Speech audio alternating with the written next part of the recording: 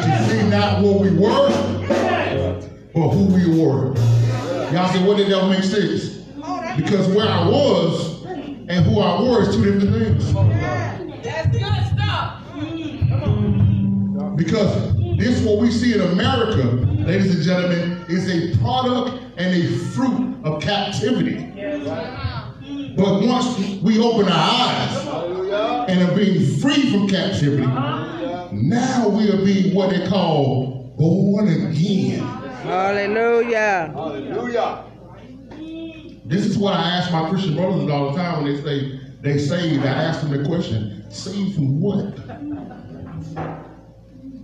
And they thought that they were saved from hell when hell was created for the devil and his angels.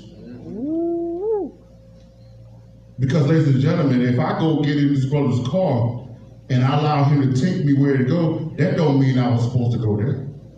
I went and got in the car with him. And the problem is that our people are voluntarily getting in Hassatan's car and thinking that where he take them is where they're supposed to go. See? See? So today, we're going to begin the celebration of Shavuot, the Feast of Weeks. We give all glory. First off, Kala Hala, Abba Hayuba Hashem Yeshai, and precious Ruach. And for those of you not familiar with the Hebrew, that is all praise unto the Most High, in the name of Christ, as well as the Holy Spirit. We give honor to Maury and Prophetess Douglas here today. Let's give them a round of applause. We thank the Most High for another opportunity to be back with the family. I don't really, really consider myself away from home. I'm, it's just my vacation home, I guess you could say. Uh, You home, baby. You you home. know what I'm saying? Hallelujah. I'm with the family. With 70 hours, I'm just, With the family. I'm just with the family. It's With the not fam, even, the it's not even another thing. It's just, it's, I just, I mean, my Greensboro home. I mean, Archdale home right now. That's right. Um, shouts out uh, to the Better Day Assembly. Y'all stand up with him today. Better Day Travel with us today. Pete. Prophet, you see how the Most High is blessing us? You see how a couple years ago when we used to come, we used to just be me and D. You did. Nah, now the Most High is blessing us. Shouts out to the rest of the Better Day Assembly watching via social media. Man, I tell you, shouts out to the whole Seven Day family. Shouts out to the whole Set Apart Assembly. Yes. We give honor to the Shine Light, Restoration Center, the whole Set Apart family. It's a beautiful, beautiful thing that the Most High has given us here in old North Carolina. And you know what, Prophet, I was thinking, you know, it all started with Seventh Day Harvest. You know, you know, they say you're supposed to give your flowers while you're living, and I think sometimes the, the humble people won't say it, but I can, I might as well say it. Say it for you. The, the, the, the vision that you and, and Pastor have walked out has birthed so much growth as far as the Hebrews and the Israelites in, in here in North Carolina that is really un, it's really you can't even really calculate what it's came from that first conference, that initial conference that y'all did when y'all brought the whole country into North Carolina. The whole entire country, I'm talking about Cali, Florida, Philly, New York, I'm talking about all over the country, came into the Red Line Inn about three or four years ago, something around there. And from that is what we have now. This is why we have this whole set apart city. Because of the vision that we gave y'all. Not a bunch of money, not a bunch of support, just trusting the Most High. Trust the most. And we thank the Most High for what y'all have done, for what you're doing, and what the, what the Most High will continue to do um, through this ministry. Hallelujah. We thank the Most High for, the, like I said, for the Seven Day family, a very uh, loyal, hardworking family. Whatever needs to be done, y'all get it done. And I just salute you guys today for what you're doing. I, I wanted to make sure I said that today because quite often, and it's true, uh, we don't take a, a, a time enough to celebrate each other in the manner that we should. When we was in the Christian church, we found every reason to celebrate. Every pastor aid program can think of, we was having one every two or three weeks. And um, as we came into the truth, because of we saw the falsehoods, you understand, and the and the I would say the abuse that came along with celebrating leaders and taking care of leaders. People try to leave that behind as if it was something wrong. You understand? And it wasn't never wrong, it just was done wrong. Right. And so I want to make sure I bring that out because there's a particular part of Shavuot that we're going to go into today that I need you guys to know that it ain't an option. you understand? I want to make sure that's clear. It's a commandment. And if you're law keepers, this is something that you need to do for your leader. We're not a leaders here, we're just a teacher today. Huh? So, um, amongst those that are with us today, how many of y'all, this is your first Feast of Weeks, first of all? All right. We got that. We just went in.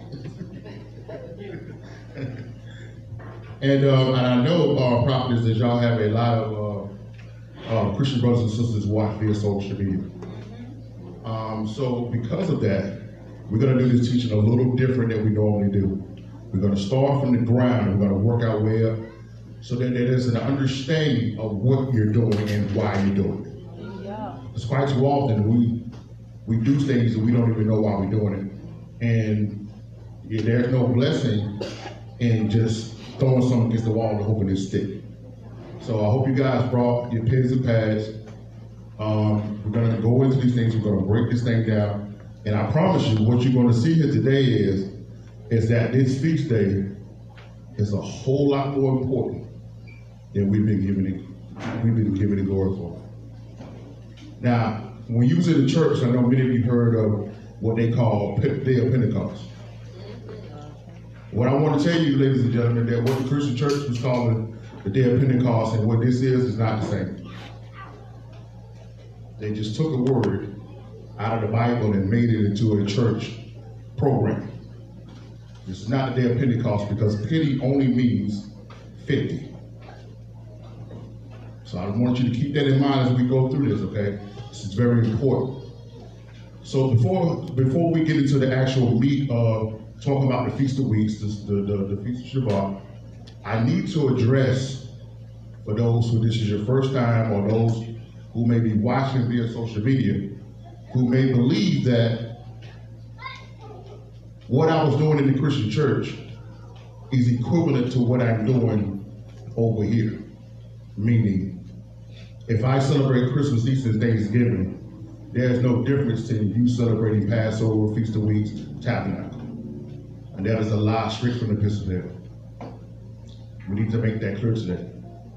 And because I, I want to make sure we do that today, is because unfortunately, Israelites who know they're Israelites are still dragging their feet, prophets, when it comes into the feast days. They're treating it as if it's an option. Well, we never treated Christmas, Thanksgiving, and Easter as if it was an option. No, we didn't. we never treated it as an option, even though we couldn't find it in the Bible. We treated it as if it was law. But when we come and see things in the law, we act as if it's an option. Well, I would have came, but I already had some other things going on. Oh yeah, let me put this out here as well. Seventh Day Harvest operates um, in many ways like Better Day does, because we set apart. That's what we do.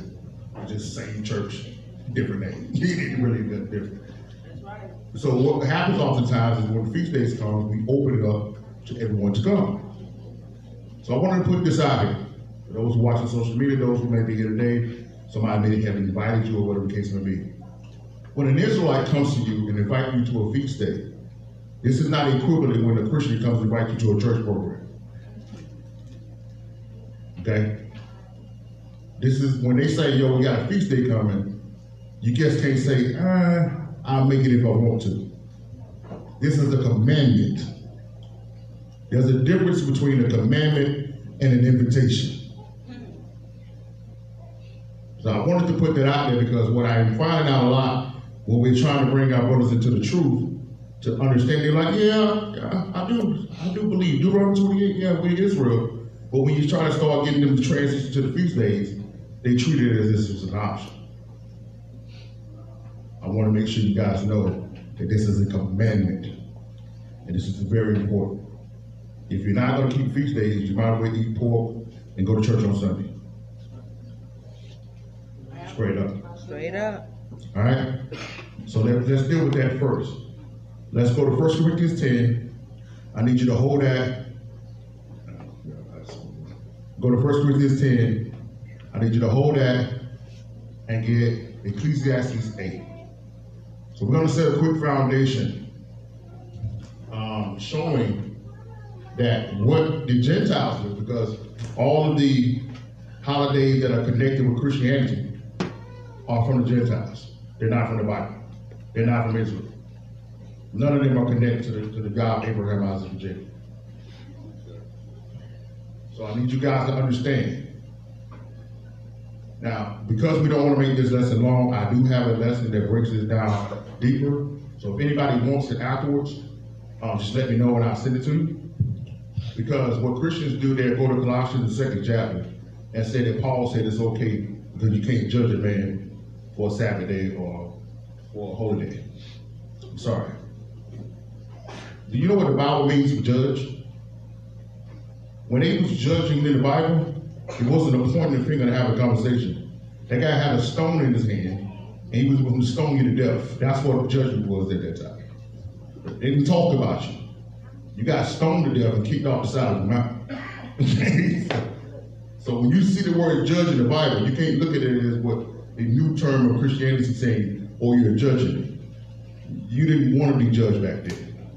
You didn't survive that meeting. okay. You didn't leave that meeting if you got judged. You was off the side of the mountain. Okay. Just wanted to put that out. So let's go to 1 Corinthians 10. I need you to hold that and get uh, Ecclesiastes 8. 1 Corinthians 10, let's start at verse 1. Feast of Weeks. Let's go. Moreover, brethren, I would not that you should be ignorant how that all our fathers were under the cloud and all passed through the sea. Now, so Paul's bringing out here, he's talking about our ancestors as they came out of Egypt. What was that last part, D? How all our, were all of our fathers were under the cloud. So you know when during the daytime, the Most High gave us a cloud by day, and he gave our ancestors what a fire by night, and then he said they all what passed through the sea, that Red Sea when he split the sea. That's what was coming out. Go ahead. And all and were all baptized unto Moses. And I was what? baptized unto Moses Uh-huh. in the cloud and in the sea. Now, I want you to remember this. Because you have Israelites out here today saying that baptism is like taking a bath. No, it's not. Even though Matthew 28, Hamashiach says, go and go and do it all nations baptizing. Even though they were baptizing all throughout the Bible, even though Paul and the disciples was all and the, and the apostles was baptizing, they'll tell you that you don't have to be baptized. When I go to clearly to Hebrews 6, and it tells me that I have to be baptized to get into the kingdom. So we see here that even our ancestors were baptized, they were seen as a symbolic baptism as they passed through the Red Sea. Because when they went into Egypt, ladies and gentlemen, they were not a nation. It was not until they came out of Egypt that they became Israel. Right. And they was baptized going through the sea. Now, through Yeshua, in order to get into the kingdom, you have to be what? Baptized. Right. So what, how we became a nation is how we become the remnant. Mm.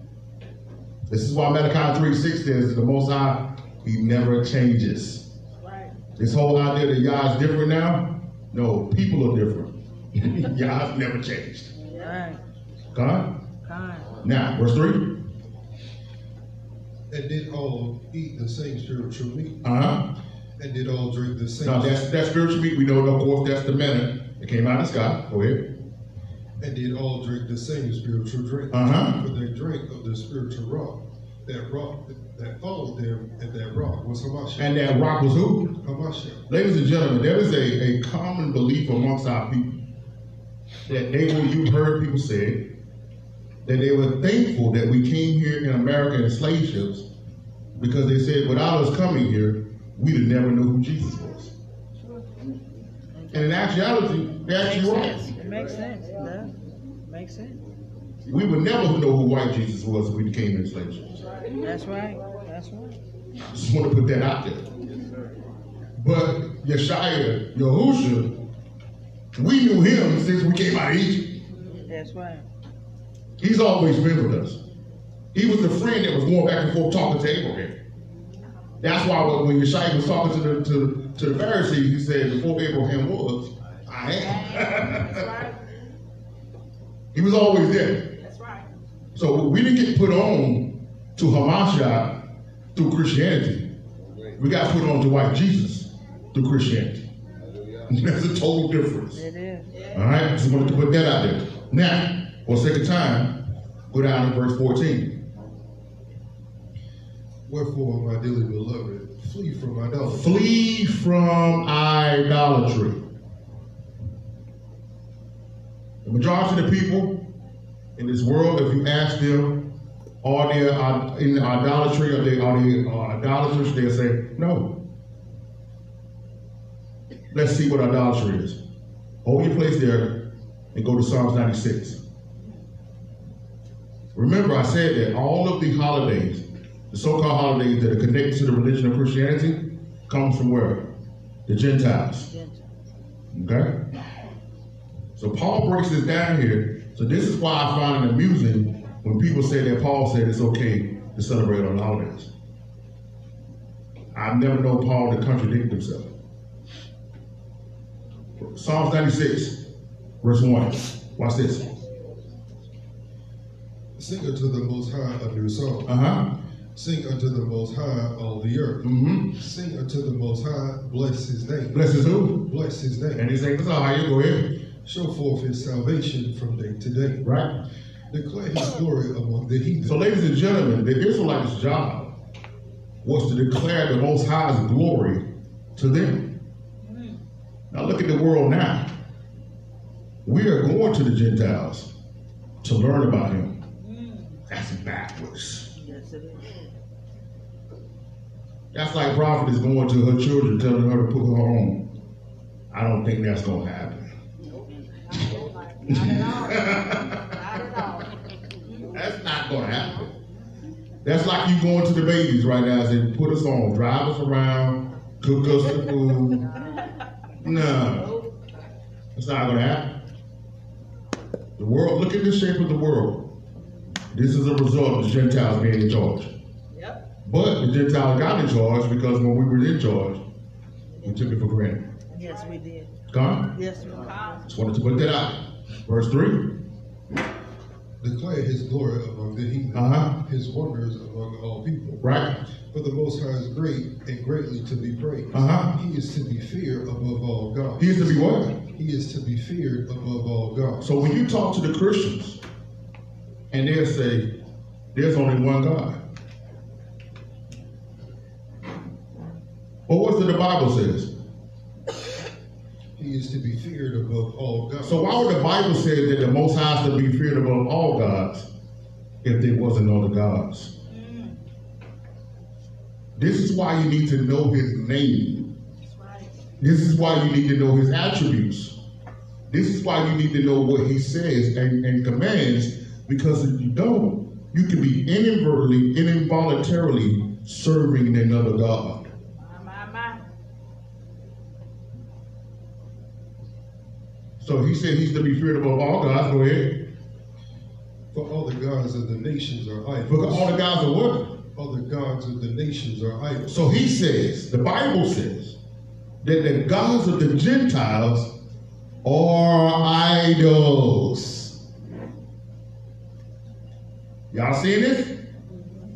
So that means, ladies and gentlemen, at any point in time, if you're celebrating a holiday, you're involved with a ritual or tradition that's connected to the gods of the Gentiles, you're in idolatry.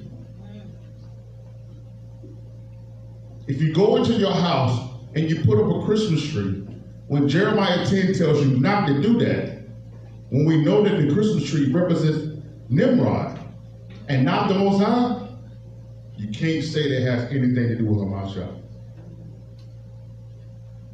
That's idolatry. Are y'all seeing this? So, but the Bible telling us here that the, that the, gods of the nations of idols now go back to 1 Corinthians 14. Do you, uh, 1 Corinthians 10, slightly, verse 14. Now are you starting to see, ladies and gentlemen, why the, the Christian um, authority works so hard to keep you out of the Old Testament? This is why they're telling us all the time, yo, this is done away with. You don't got to worry about that. Because if I'm just reading 1 Corinthians 10 and 14, not knowing what Psalms 96 says, then I'm just going to assume, hey, that ain't me. I'm not idolatrous. I serve the Lord. Not even realizing that my Sunday service is serving an idol. My holidays are serving idols. The food that I eat is serving idols. These are not opinions. This is the Bible. Come on. 1 Corinthians 10, verse 14. I thought y'all would be a whole lot more excited about this. I think this is maybe personal there, D. Hey, yo, Snoop, make sure you crack the door, man. We might have to run up out of here. man. It's all right. I've been, I've been in some hostile environments. I know how.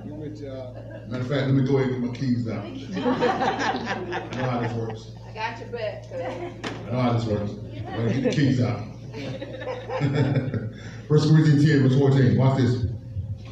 Wherefore, my dearly beloved, flee from idolatry. So now Paul is telling me to flee from idolatry. Now I know what he's talking about now. Okay. It's clear now. He says flee from idolatry. But he's gonna make it, he's gonna break it down even more. Verse 15. I speak as to wise men, judging what I say. Mhm.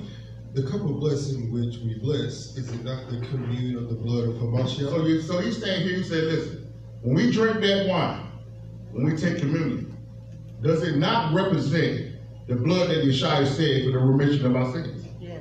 That's what it's symbolic to. That's what it represents, right? Go ahead. The bread which we break, Uh-huh. is it not the communion of the body of Hamashiach? So that unleavened bread that which we eat, it represents his body that was broken for us, huh? All right, verse 17. For we being many are one bread and one body, for we are all partakers of that one bread. Uh-huh. Behold, Israel after the flesh. So he's talking about now Israel that has not received Messiah as their Hamashiach. They're still doing the sacrifices. Go ahead.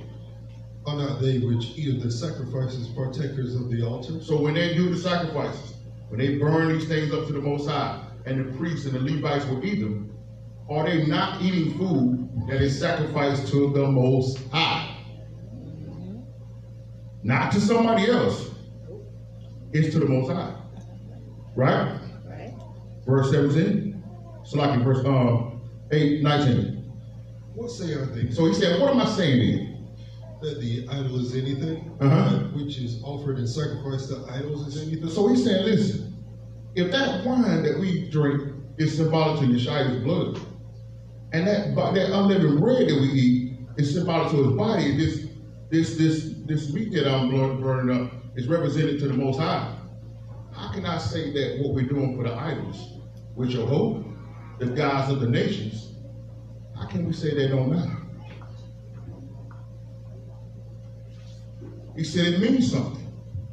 When you take that turkey and you put it on your table on Thanksgiving, you don't know that, most of you don't know that those are sacrifices to Ceres, C E R E S, the agriculture god of Esau, of the Europeans.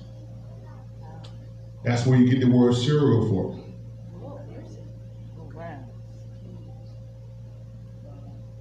So you don't know that when they slaughtered the so-called Native Americans, Yeah. that they came back and did these sacrifices to Ceres, thanking Ceres for the victory. Mm. So you're taking the turkey, putting it on your table. You're taking the cranberry sauce, which represents the blood that was shed in there. you you're taking all of that and not even knowing, sitting on your table talking about it's for the Most High, but it's for Ceres. Wow. Not the God of war. That's the agricultural god of the Europe of, of, of Esau. C E R E S. That's why you gotta understand, ladies and gentlemen, these guys are playing chess, or we playing checkers. They know who their gods are. They got the same gods that they had since the Tower of Babel. They've never changed. That's why when you go into Jeremiah, the Most High asked, he said, what kind of nation changed gods? Because Israel's the only one that did it. We're the only one that changed our gods. I know this is crazy. Like, yo, what does this got to do with the Feast of Weeks? You're going to understand in a minute. I need you to understand that if your hand is anywhere back, anywhere in the past, you're in idolatry. And Paul says, what? Verse 20? But I say, that the things which the Gentiles sacrifice, they sacrifice to devils. They sacrifice to who? They sacrifice to devils. They sacrifice to who? To devils. To devils. And not who? And not to Yah. Not to God. So if you're doing any other holiday, you're sacrificing to who? They sacrifice to devils. That's the Bible saying that. That's not Levander. That's not Israelites. The Bible, ladies and gentlemen, that you say you believe in is telling you that if you're doing anything to another God, you're sacrificing to who? Yep. Sacrifice to devils. Devils. Go ahead. And I would not that you should have fellowship with devils. You cannot drink the cup of the Most High and the cup of devils. You can't do both. Can't do both. That's right. This is Paul telling you this.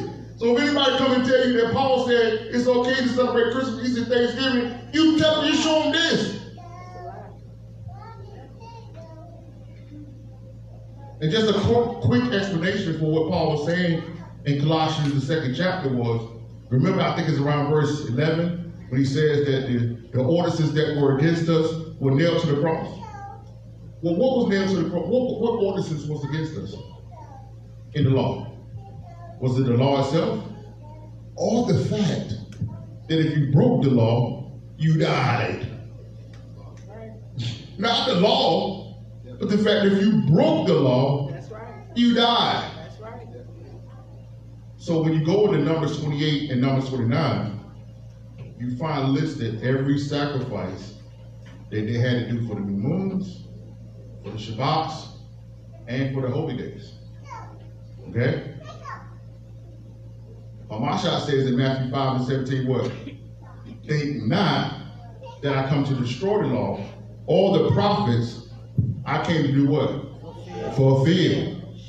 What aspect of the law did he fulfill? The sacrificial law. Because his blood was shed as the one-time sacrifice. Now there's no need for me to kill the heifer, the lamb, the bullock. That's the part of the law that's done away with. What Paul was telling them in Colossians was, you had Israelites, which he's addressing here, that were still doing the sacrifices, coming to those guys who had received Hamashiach and saying, why are y'all not doing these sacrifices? That's why he said, let no man judge you for holy day, new moon, Shabbat, or offering. Because of what Hamashiach fulfilled by becoming the blood sacrifice. Huh? That doesn't mean now I can go and serve the devil and then it's okay. Now, read that verse 21.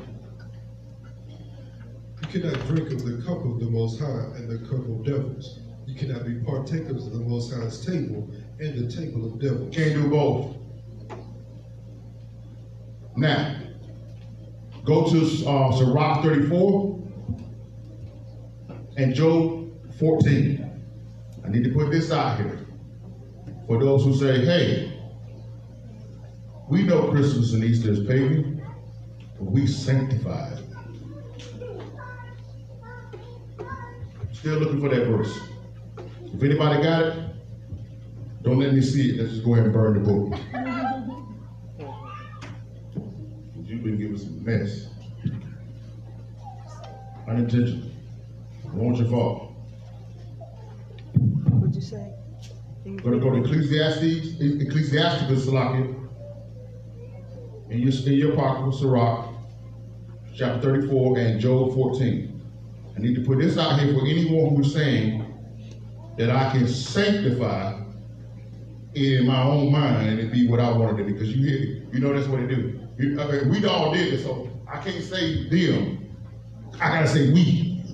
You remember prophets when we got a little woke and we went from saying Easter Sunday to Resurrection Sunday? we wouldn't say Easter no more. We started saying, oh, it's Resurrection Sunday. Right, But then I found out he didn't resurrect on Sunday. Come on. That was a lie too. That was a lot. Sure was. So It all comes in stages. So my Christian brothers and sisters, those that may be here today, that, that are saying this, I don't, like we, we say it all the time, I want to remind you, don't take these things as personal attacks. I ain't telling you something that I ain't already done. I was a Baptist pastor. I done taught this stuff backwards and frontwards, lived it. Okay? I tell people this story all the time. When my pastor first gave me the first opportunity to preach a sunrise service, I cried, literally broke down. I thought it was the greatest honor all time. Mm-hmm. That he would entrust me with a sunrise service. You understand? Absolutely. So don't act like we try. Don't think that this is we looking on looking on standing on the hill looking down at you. Mm-hmm. No, we standing on the hill with our arms out, bring, trying to bring you up. That's mm-hmm. right. You understand? That's good. Job 14, verse 1. A sloppy verse. Job 14, verse 4. Sloppy. Who can bring a clean thing out of an unclean? Who can bring a clean thing out of an unclean thing? Not one. So if I know, the Bible tells me that Christmas, Easter, Thanksgiving, Sunday service, Fourth of July, anything that's related to the Gentiles is an unclean thing. Can I say I'm sanctified? And I threw that Fourth of July in there on purpose. And I saw the side eyes they, they came with it. Because I know a lot of you gonna want to be Israelites on every other day of the year. Except for the Fourth of July. I want that steak, man. I gotta have it. Come on, man. Let me remind you what you was doing in 1776. Come on. Let me remind you what you were doing in 1876. 1976. Today. You're in captivity. What declaration of independence are you celebrating? Come on with that. There you go. Proverbs 3 and 31 says, If ye not thy oppressor and choose none of his ways, you can't come and say that the government is oppressing me and then waving the flag on the 4th of July. Really? well, ah, man, that's the only day I got off, man. You know, I got the time off. Okay. Do it on the second. Man, it just ain't the same. The hamburger don't taste practice on, on the fourth, right? Steak right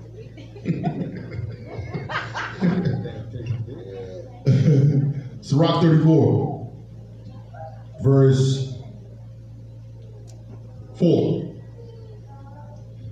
Of an unclean thing, Of an unclean thing, what can be clean? what can be cleansed? And from that thing which is false, Uh huh. what truth can come? So that thing that's false, what truth can come from it? This is the Bible.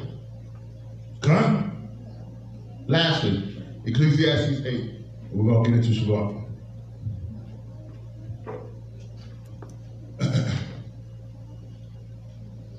For those that are watching, I want to give this to you, and I want to give this to my brothers and sisters who are continuously trying to minister to your family members, friends, co-workers, and you're finding um, that they don't want to listen to you. Let me start by reminding you of you.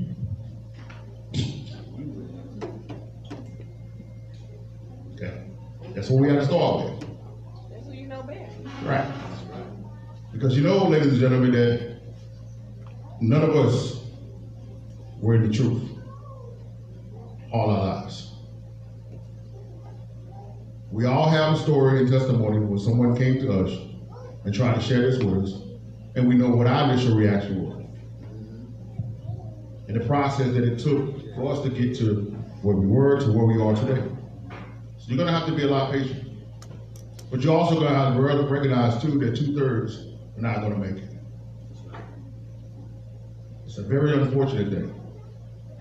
But the majority of our people in this country are not going to survive. They're caught up in the witchcraft that they see on television. CNN is their God. And Dr. Fauci is their prophet. Bill Gates is the apostle. That's right, that's right, that's it. And uh, Uncle Joe is the Pope. Yep, Wow.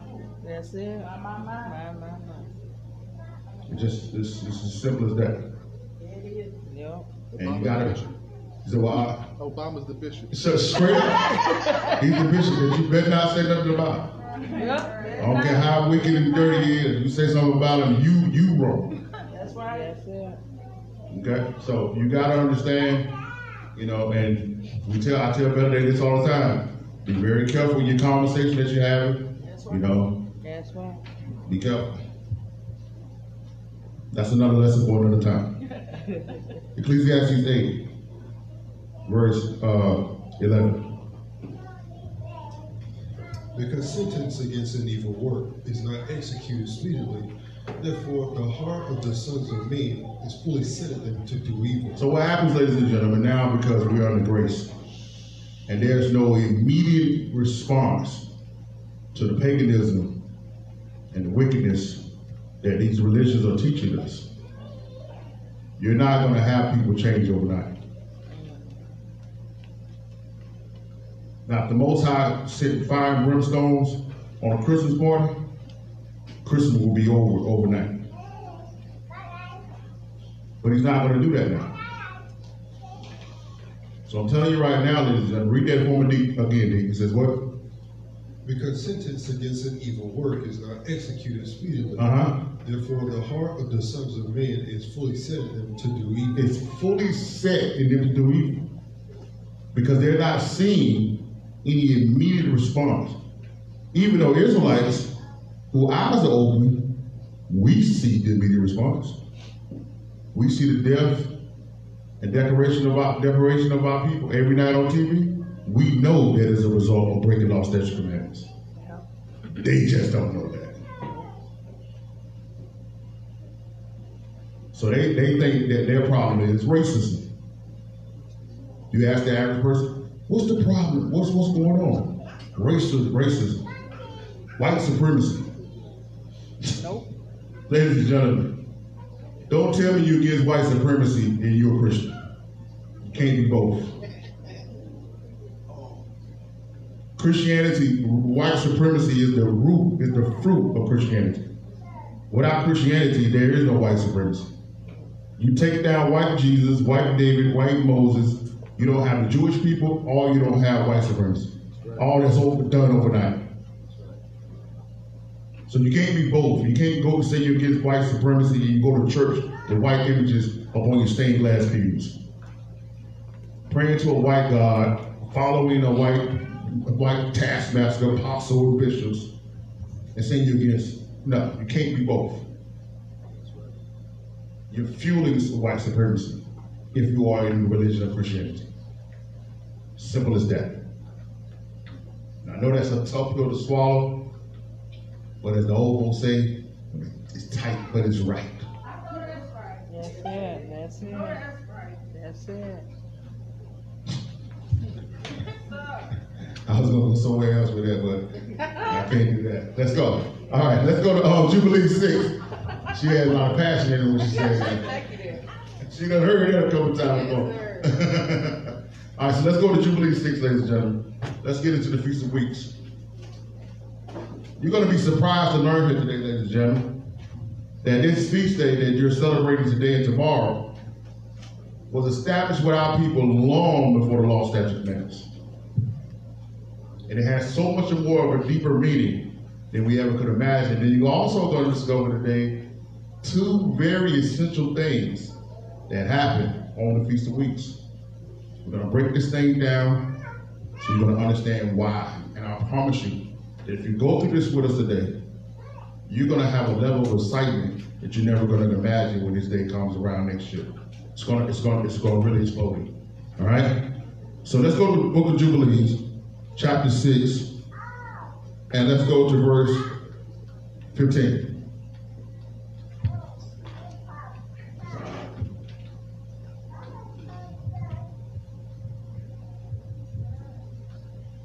And he gave to Noah and his sons a sign that there should not again be a flood on the earth. Mm-hmm. He set his bow in the cloud for a sign of the eternal covenant that should not again be a flood on the earth to destroy all the days of the earth. And we know that the rainbow is what he's speaking of here, is the eternal sign of the covenant that he set with Noah and his sons, that he would never destroy the earth again with a flood.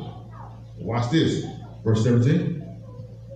For this reason, it is ordained and written on the heavenly tablets, tables, that they should celebrate the Feast of Weeks in this month once a year to renew the covenant every year. Wow.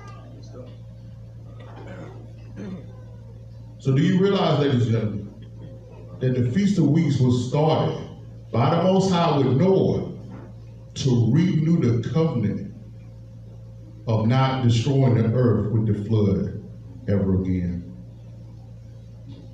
That's big. Now, that's right, Bishop. And this is the thing about it that's important. Number one, the alphabet boys who operate in complete abomination don't think that it was a coincidence that they chose this symbol to represent their organization. Because who was responsible for the flood in the first place? Satan and his fallen angels. As he began to come down and go into the daughters of men, and they began to make giants, and their sons made demons and Nephilim. Yep. And they took away the original form of creation and took those who had the Nephilim seed in Most High had to destroy the, the earth because of the wickedness that came. The rainbow was set as a symbol to say that, okay, now going forth, stay with me. And the Feast of Weeks in which we're celebrating today was established to renew that covenant.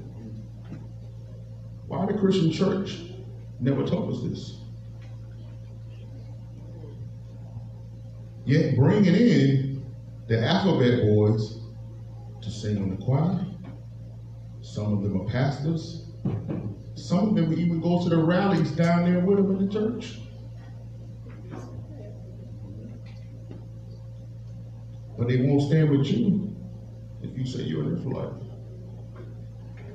Do you recognize, ladies and gentlemen, that we live in a society today that immediately tomorrow I can go and take my, my rag off, put on me a scarf, take my fringes off, and put on me a nice gown, change my name, and I don't have to cut my beard. I can just change my name and say I'm a woman now, and I will be recognized. But if I go and tell them I'm an Israelite, you have a problem with me. I'm anti-Semitic.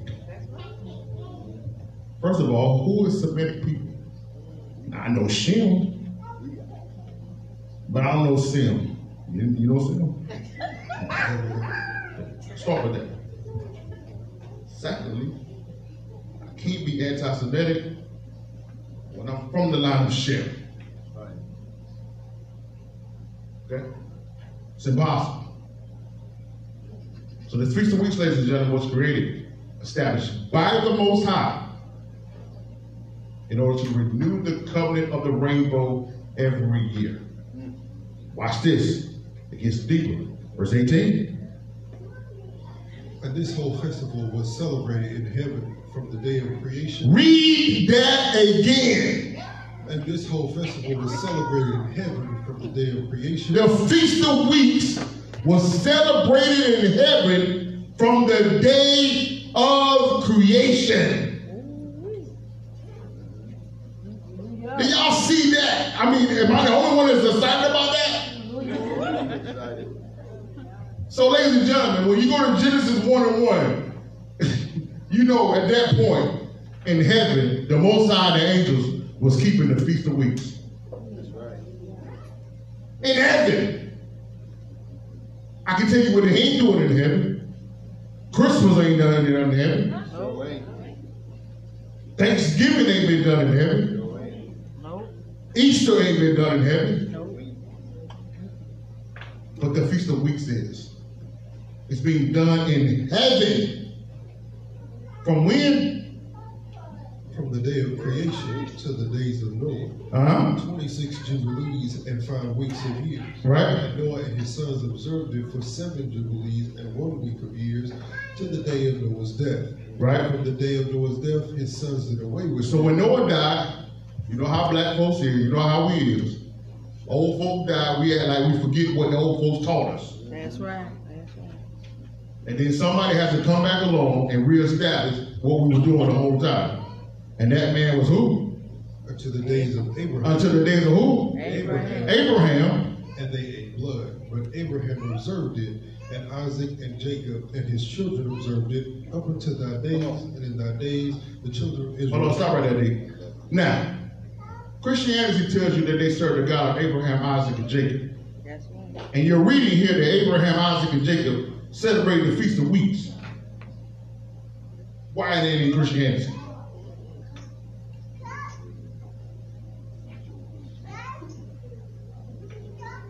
That lets you know that Christianity was never celebrating the God of Abraham, Isaac, and Jacob. It was never celebrated. So Abraham kept the Feast of Weeks. Isaac kept the Feast of Weeks. Jacob kept the Feast of Weeks. But then what happened? Up until thy days, and in thy days the children of Israel forgot it until ye celebrated anew on this mountain. Ladies and gentlemen, Thank you. when we went into Egypt, we left the Feast of Weeks back. But do you realize what's going on right here? Let me pause. Before today, how many of you have ever heard, heard of the Book of Jubilees? By show of hands. When did Moses receive the Book of Jubilees? On the mountain. When? When he did what? Somebody just said it.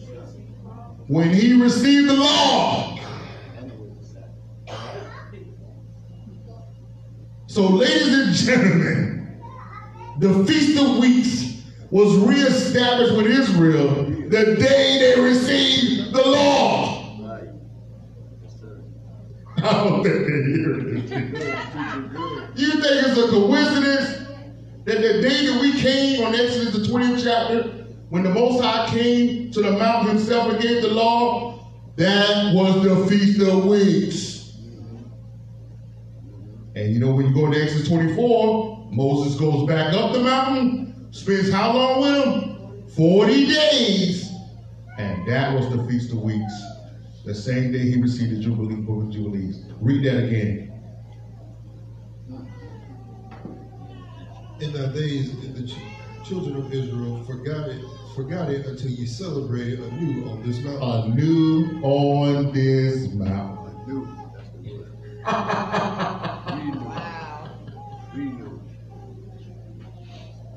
So we see here, ladies and gentlemen, that on the Feast of Weeks, the Most High gave the law.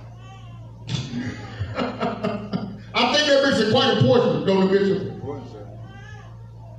What did he give out on Christmas? Now, watch this. Verse 20. And do thou command thy, the children of Israel to observe this festival in all their generations for a commandment unto them. Right? One day in the year, One day in the year. in this month, they shall celebrate the festival. Uh-huh. For it, for it is the feast of weeks For it's the Feast of Weeks and the feast of first fruits. and the Feast of First Fruits. This feast is twofold and of a double nature. Uh-huh. According to what is written and engraven concerning it, celebrate. They said what? According to what is written and engraven concerning it, celebrate. Now you can you can do it if you're free. Celebrate. If you got some time. Celebrate. If it works with your schedule. Celebrate. That sounds like a command, don't it? Celebrate it. This ain't up for discussion here. This ain't, you know, uh, I would, man, but you know, I got some, I had some plans, you know. You know what I'm saying? Know. NBA playoffs getting ready to start. I want to check out that that that, that uh, playing game. No, ain't up for discussion. You said what, D? Celebrate. Celebrate it.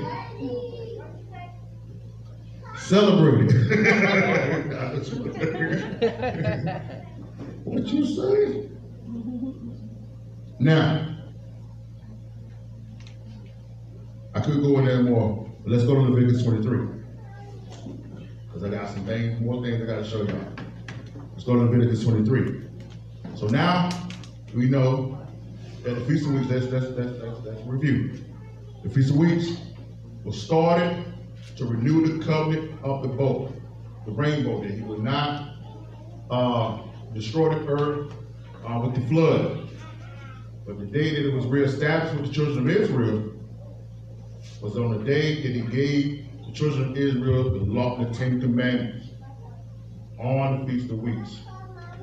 And I find it very interesting that it was not a coincidence that the children of Israel was at that mount that particular day to receive the law on the Feast of Weeks. Why? Exodus 12 chapter. You don't have to go there. I'm just going to give it to you. Exodus 12.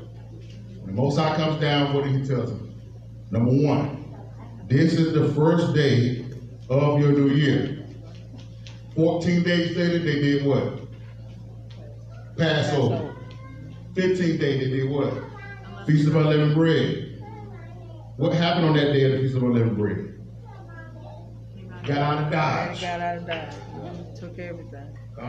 Seven days later, they kept the feast for seven days. So that's now day 22. I want you to remember this. Watch this. Leviticus 23, verse 1. And the Most High spake unto Moses, saying, Speak unto the children of Israel. Hold up. Now, am I talking to the children of Israel or am I talking to African Americans? Uh, Hebrews. Children of Israel. Judah. Okay. All right. Just want to make sure because I was, most of them looking at me like, I, I don't know who I am. Read that again. And the Most High spake unto Moses, saying, Speak unto the children of Israel, and say unto them concerning the feast of the Most High, The feast of who? the feast of the Most High, Uh-huh. which ye shall proclaim to be a holy convocation. To be a what? holy convocation. Not prophets. You know, they, a lot of people don't know this, but you know, we, we, we did our thing I know you get ready to go there. Before the truth. They were down there, hallelujah. And I was down there at Gassy Grove, Gary Grove down there. And we used to be up in the backwoods singing all night long, long before the truth.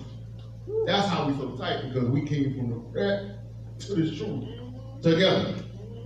Now, on your church programs, did you not used to see holy convocations? Yes, yes, that's it. Yeah.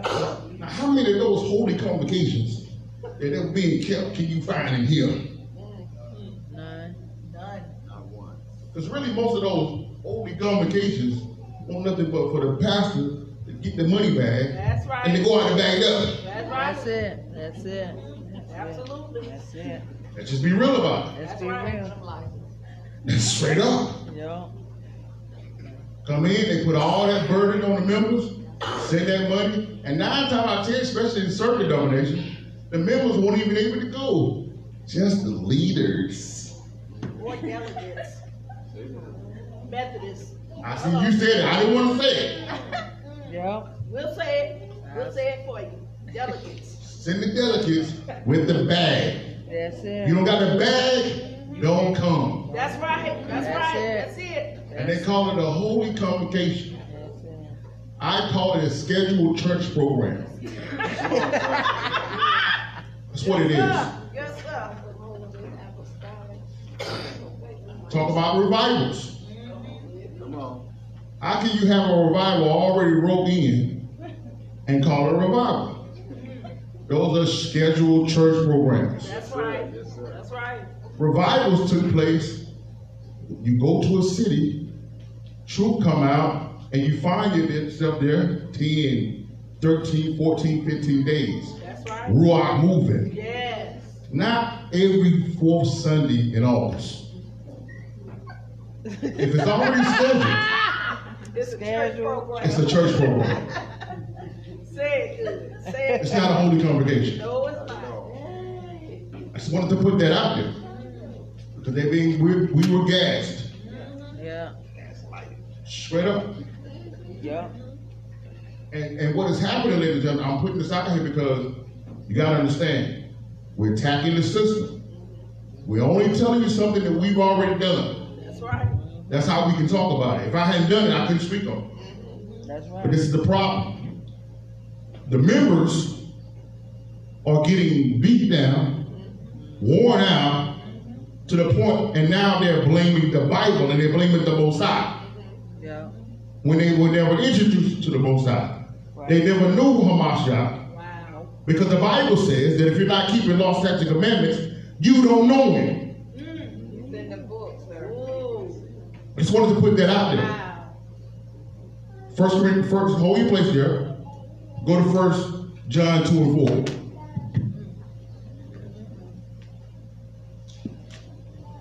And then we're gonna go to First John three. We're gonna come back. I need to let y'all understand, no, because I want to minister because I know prophets, y'all have a lot of Christians that watch. And I, I, I know I want you to understand that the Bible is not a lie. That's right. That who you know to be Jesus Christ is the Lord and Savior. There is a Yah that sits high, looks low, and his name is Ahia. They call him Yahuwah. He is living. He is real. Yes, he is. That's he it. is. But what we learned in Christianity was a lie. Yeah. that's right. First John 2 and 4. Bring it out. Whosoever he that saith I know him He that say you know Hamashiach and keepeth not his and commandments keep not his commandments is a liar. is a what? is a liar. Is a what? Is a liar. Is a liar. Yes. and the truth is not in you. I don't care how long you've been preaching, how long you've been singing on the choir. If you're not keeping the commandments, you are a what? Liar. That's the Bible calling you that. That ain't me. That's right. That's right. How do I know that? First John 3 and 4. Whosoever committeth sin transgresseth also the law. So if you're breaking the law, I don't care how long you've been pastoring, how many churches you got, you are a sinner. My, my, my. My, my, my. Period. That's it. That's it. Read it. Whosoever committeth sin transgresseth also the law. Uh-huh. For sin is the transgression of the law. Now sin is transgression of the church orders. Sin is the transgression of the law. Sin is the transgression of the of the denomination. Sin is the transgression of the law. Sin is the transgression of the law. So don't come with that Old Testament stuff. This is John in the New. Said if you're breaking the law, you are a sinner. That's it. But he also says in verse 5, what? And ye know that he was manifested to take away our sins. That's Hamashiach. And in him is no sin. Because Hebrews 4 and 15 says that at all point he was tempted like you and I, yet he was what? Without sin. That's right. And this is the kicker, verse 6. Whosoever abideth in him So those who are in Hamashiach sinneth not. are not breaking the law. Mm. But those what? Whosoever sinneth But those who are breaking the law have not seen have him, not seen him, neither know him. neither know him. This is the Bible. So if you are a lawbreaker, if you don't keep Sabbaths, holy days, if you're eating unclean foods, you are a sinner and you've never met the Christ of the Bible. White Jesus is the only one who tells you that everything is okay. Right. Not Yeshua, not Yahusha. You are a sinner. But this is the good news. First John 1 and 9. If we confess our sins, Mhm. Yeah. he is faithful and Yeah. just to forgive us. Jesus, you still can come home. Yeah. Grace is still extended to you. Mm. But if you keep gashing yourself, lying to yourself because of the numbers, Matthew 5 and 23. Matthew 7 and 23. We're going to get back, y'all. I just, I need you to deal with this first. Because I want to make sure, listen, time is running out. Yes, it is. Yes, it is. The Bible says in Amos, the eighth chapter, that there's going to be a famine among the land, not with food or in water or gas. The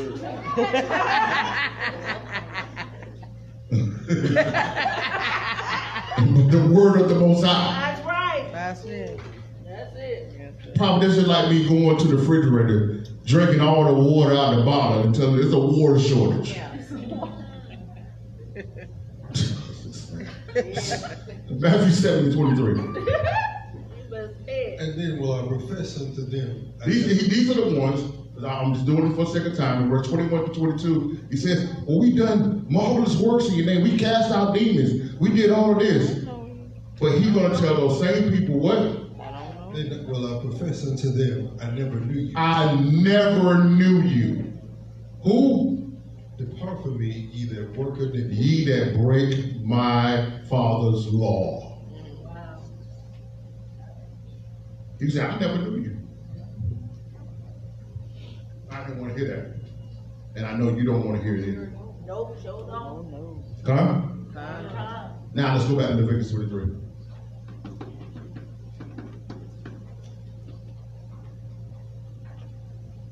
Leviticus 23, verse 1. And the Most High spake unto Moses, saying, Speak unto the children of Israel, Uh-huh. and say unto them concerning the feast of the Most High, which you shall proclaim to be holy convocation, even these are my feasts. These are my feasts. Verse 3. Six days shall work be done, but the seventh day is the Sabbath of rest, a holy convocation. Ladies and gentlemen, Friday sundown to Saturday sundown is a holy convocation. It's not up for a choice. It's not an option. Every Sabbath is a holy convocation. Not Sunday. You don't get the choice to say, well, this is the day that we decided to worship. him." Who is we? And black folks, y'all need to understand you ain't made no decision anyway. You're That's gashing it. yourself. That's The decision was made for you on the plantation. That's right. Sure was. You never made a choice. Nope. We need to stop lying to ourselves talking about we decided. You ain't decided nothing. Your decision was decided for us. The only decision that you have now is to come back to the Most High, Or not. repent or perish with the rest. Verse 4. These are the feasts of the Most High, even holy convocations which ye shall proclaim in their season. Now, for sake of time, remind you, we talked about that in Exodus 12. Came in, he said, This is the start of the new year. 14 days later, Passover. So I can only speak for us. March 6th, we celebrated the new year, new moon. Some of y'all was down there with us, down there in Four Oaks. Had a good time down there that day. Right? Yep. 14 days later, we get the what? The Passover. That's what the Bible says. The next day was the 15th day, we kept the Feast of Unleavened Bread. Now, sake of time, go to verse.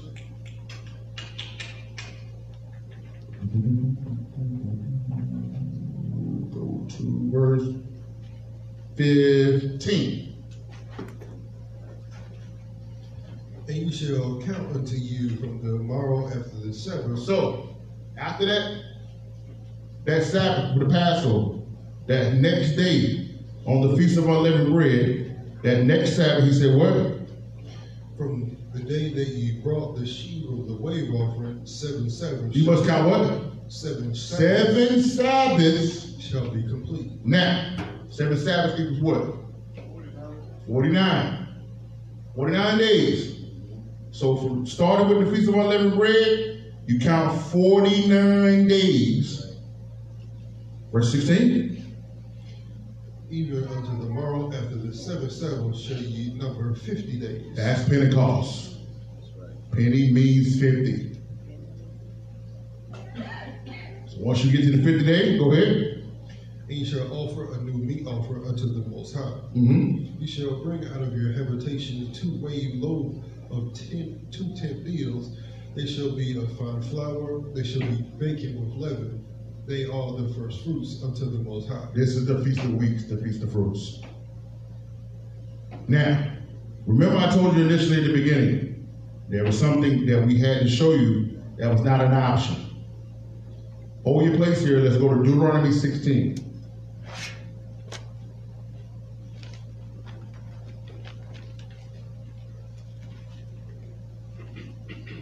So he said, count the 50 days, and then your next day, that next day is the Sabbath, is the past, is the Slocky, Feast of Weeks. Now, something very important that is being overlooked. We talked about this in the beginning, and I mentioned it throughout. But the idea of that there was never anything wrong with providing for your leaders, taking care of your leaders. Israel as a whole, we're failing that. It's wrong. It's a shame that no good pastors are getting money poured on them, and the people that are giving their lives are struggling. It. They, and they ain't gonna never tell you about it. Because we that operate in the truth says that he says that freely you have received, freely you ought to give. So we don't charge honoraries. We don't take salary from our churches, our assemblies, because we know that's against the Bible. But because people have moved away from from what the law the law says into Christianity, you start saying, "Well, I don't have to do that. This is my choice." No, it's not. The Levitical priesthood is being operated through the assemblies today through the fivefold ministry the apostles, the prophets, the pastors, the teachers, and the evangelists. They have the same responsibilities as in the Levitical priesthood. Just because the Levites were cast away doesn't mean the responsibilities of the Levites cast away. Because the priest and the prophet came into who? Hamashiach. And Hamashiach appointed leaders over the assemblies. So that's one of the aspects that the Christian church was doing right. It's just that they were doing it for the wrong reasons. And then some of the people were taking advantage of that and bleeding the members to the point that now, for those who came into the truth, you feel like as if you don't have to do that anymore. And it's wrong. Now I can't we can't tell our members that D because they'll think it's a you know, it's an agenda. I'm not the pastor. And they didn't tell me to tell you this. I'm gonna tell you what the law says. You don't have a choice. If you say you law keepers, follow the law. Deuteronomy 16, verse 16. Three times in a year shall all thy males appear before the Most High thy Yah in the place which you shall choose. Now Jerusalem, go ahead. In the feast, in the feast of unleavened bread, That's the Passover, in the feast of weeks, which we're doing today. in the feast of tabernacles. So three times a year, these particular three feasts, we had to go to Jerusalem to keep it. Now there's aspects in the law where where they there there's provisions that if something kept you from being able to go there and you, you couldn't get there on time, you, you could send your money, you could send your offers and stuff like that. There were provisions, there was certain verses happening. But it was a commandment for them to go every year to keep this feast in Jerusalem. But this is the kicker. Verse 17. Oh yeah, I'm sorry, go ahead. And they shall not appear before the Most High empty. and you shall not appear before the Most High empty. Verse 17. Every man shall give as he is able, according to the blessing of the Most High thy Yah, which he has given thee. So Seventh Day harvest. As the Most High has blessed you for the first quarter of this year, you must give unto your leaders. This is a commandment. There's not a particular uh, amount on it. You know what the Most High has done for you. You know how he blessed you. And it ain't gonna be those things that shake and rattle.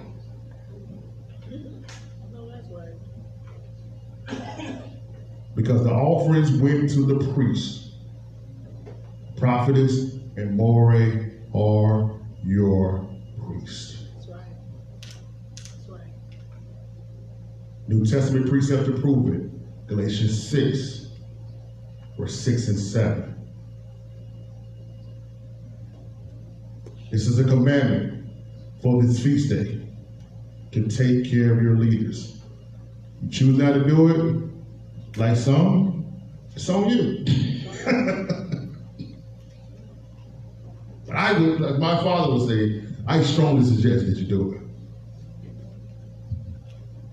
Galatians 6, verse 6. We got a real quiet in here all of a sudden. Let's not talk about money with that, or we're getting tight. Galatians 6, verse 6. Let him that is taught in the word and word communicate unto him that teacheth in all good things. Y'all see that? This is Paul saying, Those who are taught, you must communicate all good things to your teachers. You think this building, you think all this work, you think all that they're doing every week, you think this comes easy? It's a, it's a task. And trust, none of us want to do this. Okay. We had a choice, we'd be somewhere right now doing something else. But we know if we don't do this work, there's going to be a problem. Absolutely. Verse 7 Be not deceived. Be not deceived. Yah is not mocked. See, some most people have been using pull this scripture out of the chapter and thought this was talking about sin. No. This whole entire Galatians 6 is talking about giving. Started the chapter, it's talking about giving grace to those who are in sin. Then it goes into Galatians 6, in verse 6, it's talking about sowing to those who give it unto you through the word. Read it again. Galatians 6 and 7 says what? Be not deceived. Be not deceived. Yah is not mocked. Uh-huh. For whatsoever a man soweth, that, sh- that shall he also reap. Mm-hmm. But he that soweth to his flesh shall of the flesh reap corruption. So when you're only giving things for your own good and going to benefit you, it will eventually bring corruption to you. Go ahead. but he that soweth to the Spirit And the word is spirit. Shall of the Spirit reap, life everlasting. Y'all see that? So, this is a commandment that comes along with this feast day. I would strongly suggest you make sure you take care of that. Now, let's go to Acts the first chapter. Hey, Sue, go ahead and open the door, man. I don't think we're gonna make it out of here. This, this, is, this is getting really, really tight here. And we, we went from laugh to smile, so I'm starting to see the, the gas on the table now. Don't play with my money. no, I'm serious though, but you, you gotta understand, ladies and gentlemen, is that we're hustling backwards as a people. We're saying that we want the things of the Most High, but we won't do what the Most High tells us to do in order to receive it. I know that we were in situations where things were done wrong and our hearts and our good intention was abused. We're in the truth now. We're amongst family now, and we can't continue to bring use the past as an excuse to not do what's right. You know, you, you'll never hear this from you'll never hear this from prophets. You never hear this from Moreh. You're never to hear this from any leader in the set apart. But when we talk amongst ourselves, we sit back and just look at it like, "Yo, this is this is crazy." But we know we got each other's back, so we're gonna do what has to be done. And a lot of times, it be stuff that need to be done, they get taken care of, and y'all have no idea. Because they're not gonna bring it to you. And it shouldn't have to get to that point. Because I'm telling you right now, as the days get darker, we're gonna be all that we have. And if we can't rely on each other, if everybody's sitting around falling for this witchcraft or yo, this person's your enemy, I can't shake his hand, I gotta be six feet apart. I'm telling you, that's for them. They ain't got nothing to do with us. That's right. We are all we got. That's right. That's it. That's the truth. And we gotta take care of each other. You You take care of your leaders, it will trickle down and the Most High will take care of sir. Yeah, it will. Yeah, it will. That y'all. you. You ain't hurting yourself Nope, by giving. You're hurting yourself not giving. that's right. Just wanted to put that out here. Now, Acts the first chapter. Now, we're coming in. Post Christ now. You gotta understand. What does this Feast of Weeks mean to Hamashiach? Watch this. Acts the first chapter.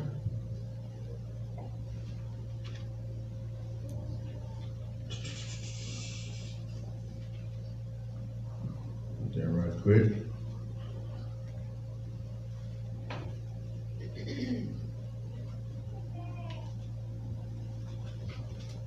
Acts 1, verse 1. The former treatise that have I made, O Theophilus, of all that Yeshua began both to do and to teach, mm-hmm. until the day in which he was taken up after after he through the Holy Ghost had given commandments unto the apostles whom he had chosen, Right? to whom also he showed himself alive after his passion by many infallible proofs, being seen of them forty days. Be seen of them what? Them forty days. Now,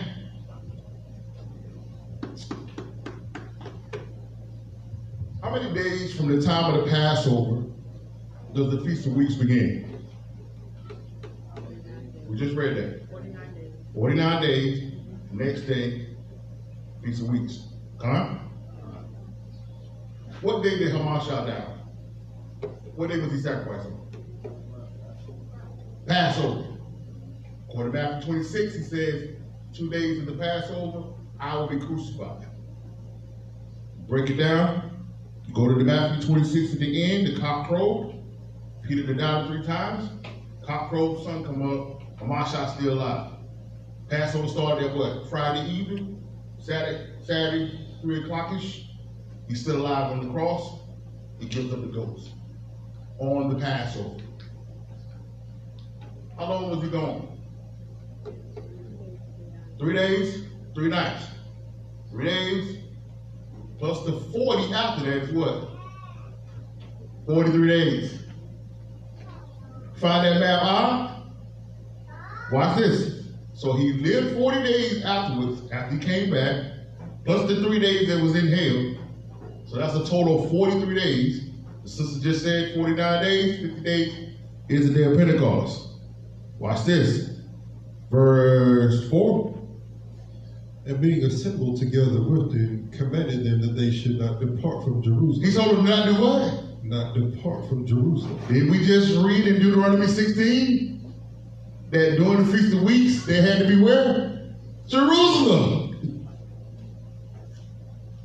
Y'all seeing this? How it's all coming along? Go ahead.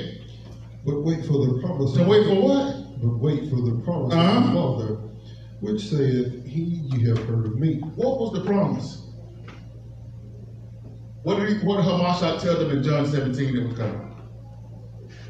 The Holy Spirit, the Ruach. The law came on the Feast of Weeks. And now we see that the Ruach came on the Feast of Weeks. You telling me this ain't important? Do you see how it gets so watered down by just saying, oh, it's the day of Pentecost? It's so much. Watch this. Verse 6, verse like verse 5.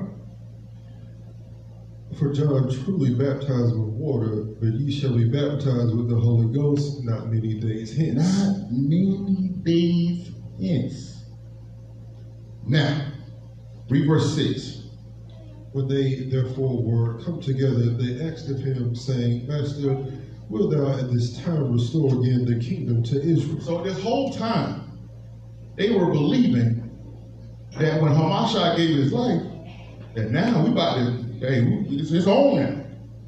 They forgot about the curses of Deuteronomy 28. We had to, we had to endure that.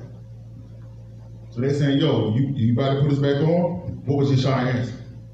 And he said unto them, It is not for you to know the times or the seasons which the Father has put in his own power. Right? But you shall receive power after the Holy Ghost is come upon you, and you shall be witnesses. You shall be what? Witnesses unto, bo- unto both in Jerusalem and in all Judea and in all Samaria and unto the uttermost parts of the earth. Now, I'm this for a very important reason.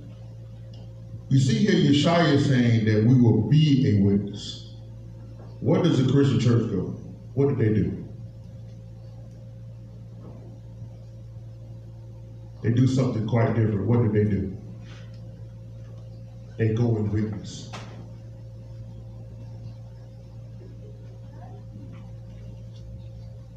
If you're a witness, you don't have to go and witness. If I see a brother, right, and I see my aunt right there, and I see his shirt, and I like it, he's a witness that somebody made that shirt. So all I had to do was ask him, hey man, where you got that shirt at? He's a witness. But if he don't got the shirt on, and he come out and tell me, hey man, I know a guy that's making shirts. come check it out. He's like, yo, what shirt at? No, I don't have it. But I know a guy that's making it. Well, that's what's going on with the Christian church. Because they don't look like Hamashiach. They don't look like the Bible.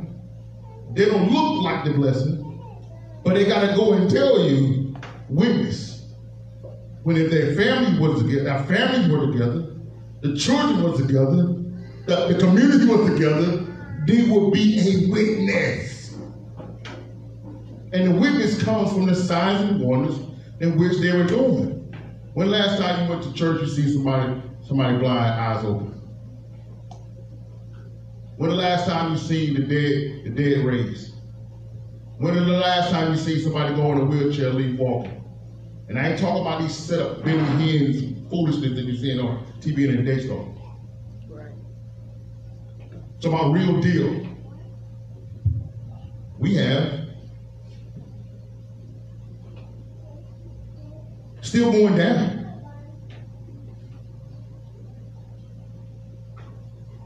It's just that people are no longer witness. You got to go and tell somebody about something you don't know versus being the witness. Because guess what happens? Let me put it like this right here. If you witness a car wreck or a crime, do you have to go and tell people you're a witness? Or do they not come and find you? You get what they call what? A subpoena to testify in court because you are a witness. But when you're not, you have to call the hotline. See the difference? Hamashiach is saying, if you do this and wait on this Holy Spirit, you will be a witness of me. And this is what happened. Now I go over to Acts the second chapter, start verse 1. And when the day of Pentecost was fully come, and they were all with one accord in one place. Now, do you understand now, ladies and gentlemen, how important it was to know everything that we, we learned before that without just reading this verse? This is the danger of being in a religion that tells you to only read part of the book. you understand? Like, nobody in the world does that of any other book but the Bible. Don't worry about two thirds of the book. Just read the last half. And then, but Revelations, you don't got to worry about that too. Just read Mark, James, Luke, and John. We follow the Pauline scriptures. What is that? That's how you don't know what's going on when you don't read all the things that we talked about before that. Now you have no idea of what day this is. You don't know that this is a highly holy day. You don't know this is a law. You don't know this is a commandment. You don't know what is taking place here, so it waters down the effect. For example, that that so-called Leonardo da Vinci thing when they talk about the Last Supper. By calling what Yeshua then was doing the Last Supper, you take away what was actually being done, which was what? The Passover. Because guess what happens?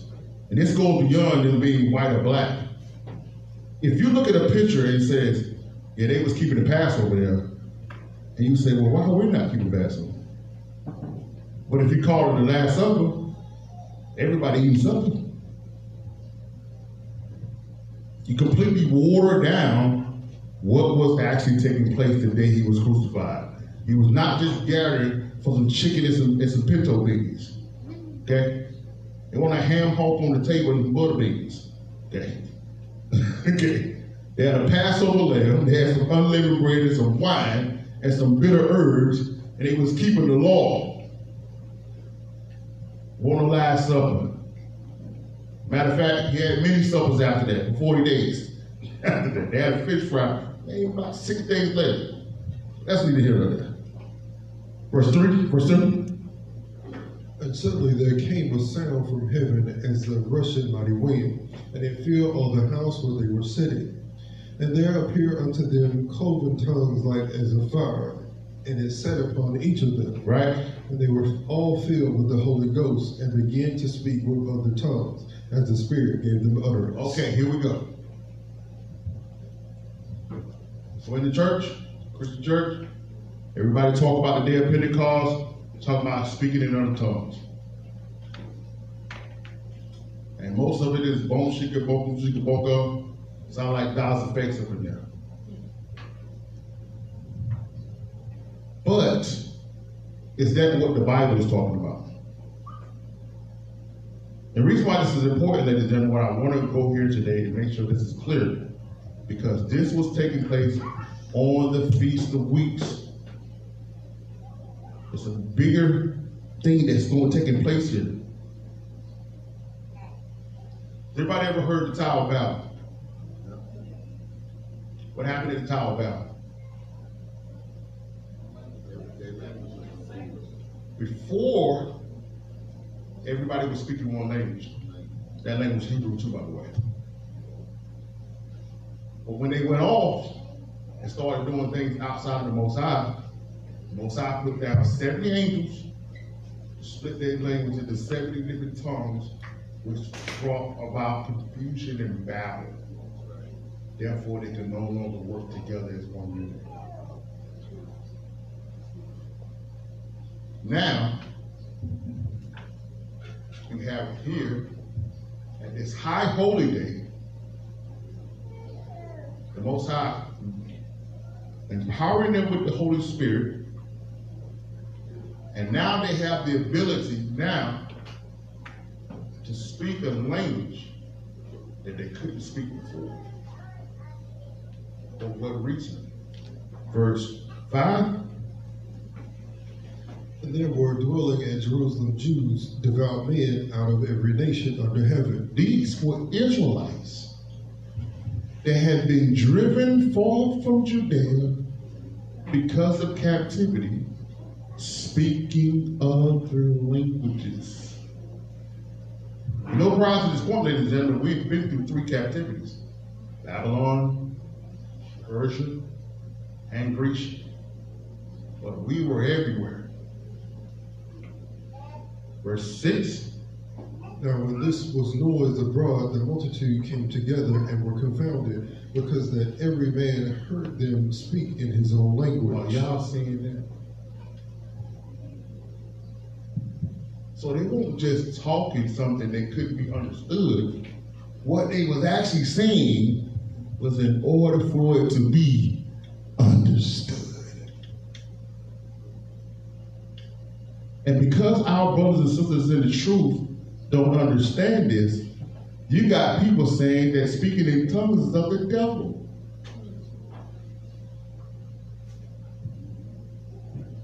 They don't know that this is a gift so that if I'm in Ecuador, if I'm in China, I'm in Persia, I can be in South Bronx, wherever I can be at, and the gospel needs to go forth, I have the ability to talk to them and give them the truth of the Mashiach.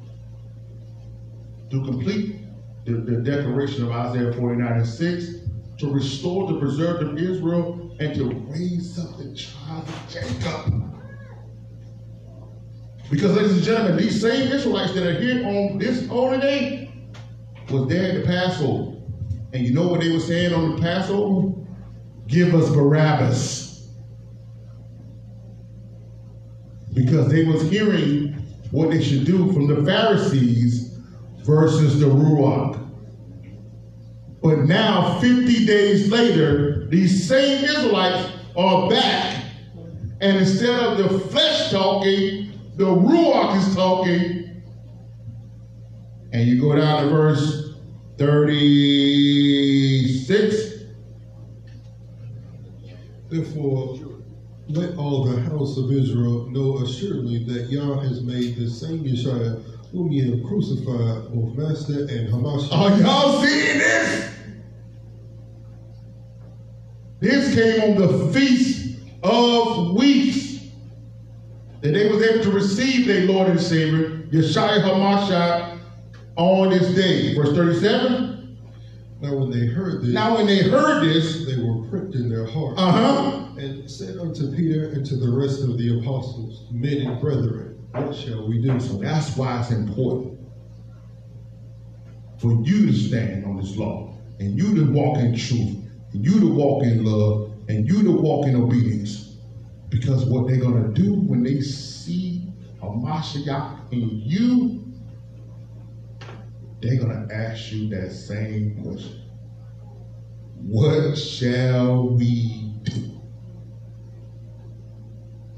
But if you out here saying, hey man, I can keep the feast day or not, uh, you know, I'm on a grace, you making excuses, you're teaching them to continue to stand on the, the, the excuses as well. And then you be able to tell them the verse, same thing, verse 38. Then Peter said unto them, Repent and be baptized, every one of you, in the name of Yeshua HaMashiach, for the remission of sins, and ye shall receive the gift of the Holy Ghost. This is why we celebrate Shavuot, the Feast of Weeks. Hallelujah. That makes sense? This is why we do this. This ain't no screen, flip the tables over message. This is the fully understanding what we're doing and why we're doing it. Because without this understanding, we're going to continue to find ourselves walking around that proverbial mountain. And how many of y'all ready to go into the kingdom? How many of y'all are tired of captivity? How many of y'all ready to go eat? Hallelujah. Give them Isaiah 10 and 20. We're going to close out with this.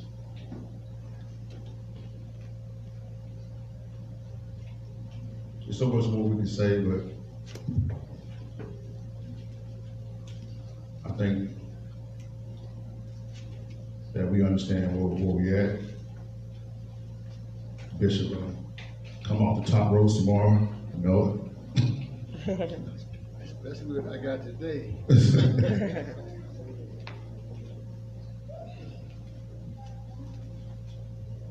it. So Isaiah 10. We ended, we ended off with this. Isaiah 10, verse 1. Yeah, we're going to start there. Woe unto them that decree unrighteous decrees, Right? and and that right grievances which they have prescribed. So he said, Woe unto them who decree an unrighteous decree and giving out what? And right away. And write grievousness which have have prescribed. So, ladies and gentlemen, let me tell you something. I'm, I'm starting here because I want you to know clearly. There's a lot of people that's going to be talking to you as if they have your best interest at heart, and they don't. I want you to I want you to be mindful of three very important things. Number one, a person that talks about themselves in the third person. That you don't understand. Why why is nothing to do with this? After no. Be very, very mindful of people who talk about themselves in the third person. That is the number one sign of a narcissist. Number two, be very mindful of a person who telling you you don't need an elder or a leader, but always telling you to listen to them.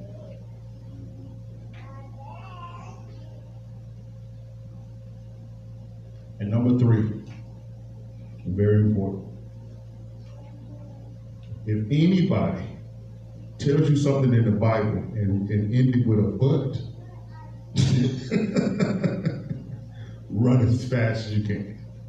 Yeah, I know the Bible says you have to be baptized, but but I know that Saturday is Shabbat, but but I know they said I can't eat that, but I know we're supposed to be doing this, but run as fast as you can. You're talking to the devil. Because the devil's the only one that comes up with alternatives to what the Most High said. Remember when Eve was talking to him? And he said, hey, the Most High said if we do that, we're going to die. He said, you ain't going to surely die. But talking to the devil. Now, verse 2 to turn aside the needy from judgment, and to take away the right from the poor of my people, that widows may be their prey, and that they may rob the fatherless. That's the whole point of it. They're trying to do whatever they can do to get something out of you. The words must edify, not tear down. And sisters, I'm talking specifically to you. Because a lot of you sisters out here, you don't have a covering, and you're trying to find your way.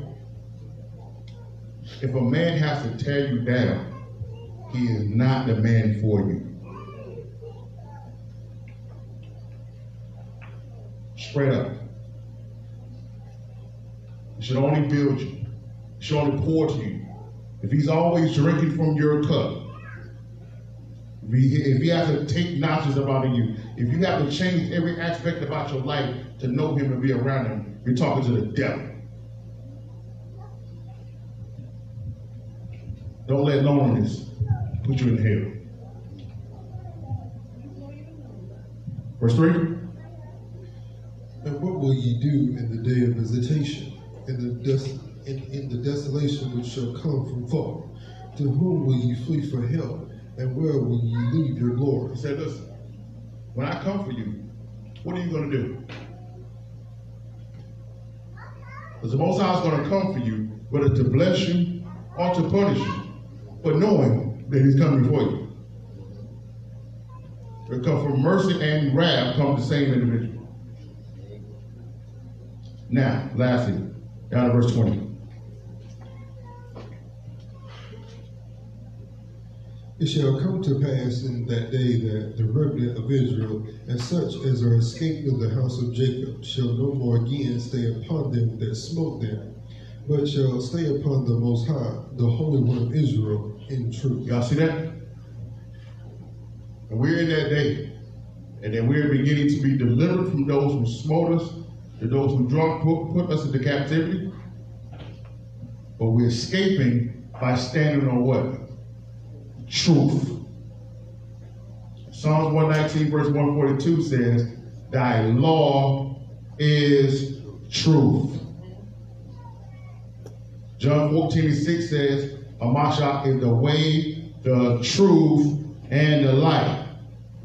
John 16 says that the Holy Spirit is the spirit of what? Truth. So these are the three factors that you must be standing on at all times. The law, the Ruach, and Hamashiach. It is the only way you're going to escape. And we escape, we will become what? Verse 21. The remnant shall return, even the remnant of Jacob unto the mighty God. That's how you make it. You must practice the righteous acts now. Don't be playing catch up. Make yourself do it now, And eventually it's gonna come apart life. It's gonna come natural to you. Notice the process where you gotta get these things out of your system. But it's okay. Trust me, it's gonna pay off after a while. After a while. Boy, I wish I had that. I wish I had that voice like, bro, I'll go in right now. After a while. Hallelujah. Hallelujah. Let's give the most high round of applause. Hallelujah.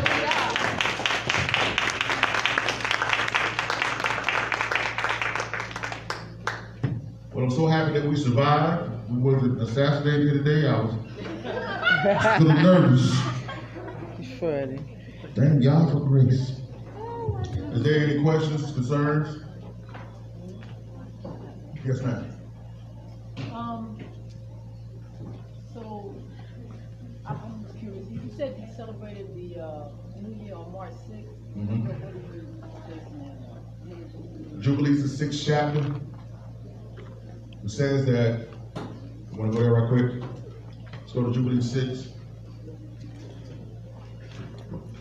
We follow, matter of fact, let's go to Jubilees too. It's a good question. I'm glad you asked that. let's go to Jubilees two right quick.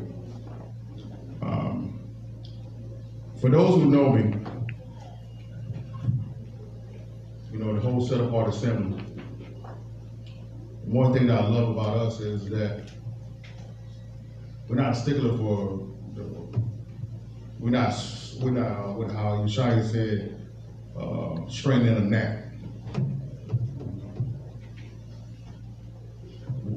know. My aunt defended, has defended his relationship with me quite often. "Uh, Why you dealing with that dude up there saying Yahuah? I said, man, that's my brother, that's why.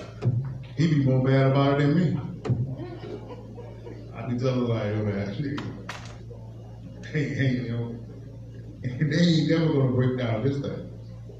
Me and Anthony and Prophets go back, like I said, we go back before the truth. We know where the Most High found us at. So this thing is bigger than what y'all know. This is, listen, man, it's, you know. Uh, so, when I say that to say this, is that Better Day says Yahuah. Seventh Day Harvest, most of the rest of y'all say Yehovah. We know who we talking to. Some of our feast days and, and things are, are not aligned. We know who we celebrate. So those things right now, the Bible says in Zephaniah 3 that he says as he comes back, he's going to give a what? A pure language. He's going to return it back to fully on one accord. Mm-hmm. So there's some things that we do that may not be lined up with others, but I only, I'm not going to be talking about that when I'm with my family. When I'm with my family, we're talking about what we on. Most High. Hamashiach is king. Law, statute, commandments. Holy days. So we don't we don't go into that. We believe that these discussions are supposed to be held with the elders. So me and Anthony, we've been talking about that for a while. Anthony, Myron, shouts out to Hebrew Heritage, Miss Karen. We've been talking about shout out to uh, Restoration Center. Um, we've been talking about the elders sitting down and having a conversation, allowing us to have one feast day. Because most of us celebrate feast days together anyway. New moons and stuff together anyway. But what we're trying to get to is that all of our days are aligned. All of our feast days and new moons are aligned. And we just let the Most High have the last say. So we're working towards that. But in the meantime, until there's a full agreement, that will not get in the way of fellowship. No. it's not going to happen. Hallelujah. And after the, the, the conversation, we're still going to be fellowship. This, this ship ain't going to sail here. But what I tell you, what you won't see, you won't see set apart assemblies and none of these public debates where that message y'all seeing going on right there ain't happening. We don't do that. That's for them to argue back and forth, see who the smartest person in the room is. There's only one smart person. His name is Hamashiach. That's it. I don't know nothing. I just know him. That's it. But to answer your question, let's go to Jubilees 2. And yeah, Jubilees 2, verse 8. And on the fourth day he created the sun and the moon and the So stars. the fourth day of creation, created the sun, the moon, and the stars. Go ahead. and set them in the firmament of heaven to give light upon all the earth, and Right. to rule over the day and the night, and divide the light from the darkness. Mm-hmm. And Yah appointed the sun to be a great sign on the earth for days and for Sabbaths. For what? For days and For- for, Sabbaths. For Sabbaths, For months, for new moons, for feast, for feasts. for years, Uh huh. That's Jubilees. and for Sabbaths of years, Uh-huh. and for jubilees, and for all seasons of the years. Now, most Israelites, what do they follow? The moon. Most High told us to follow the sun. That's a problem.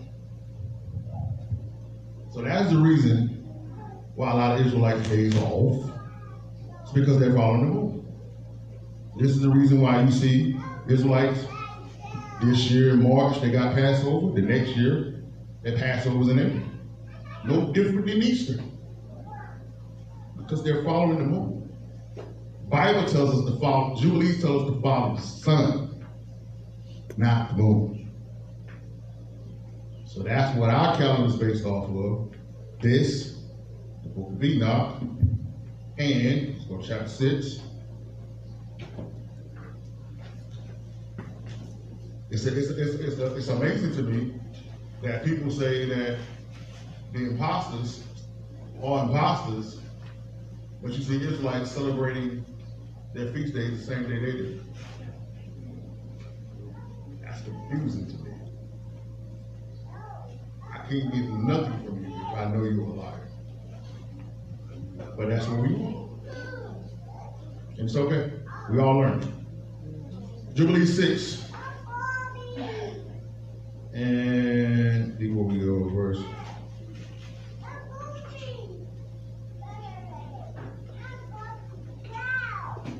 Okay, verse.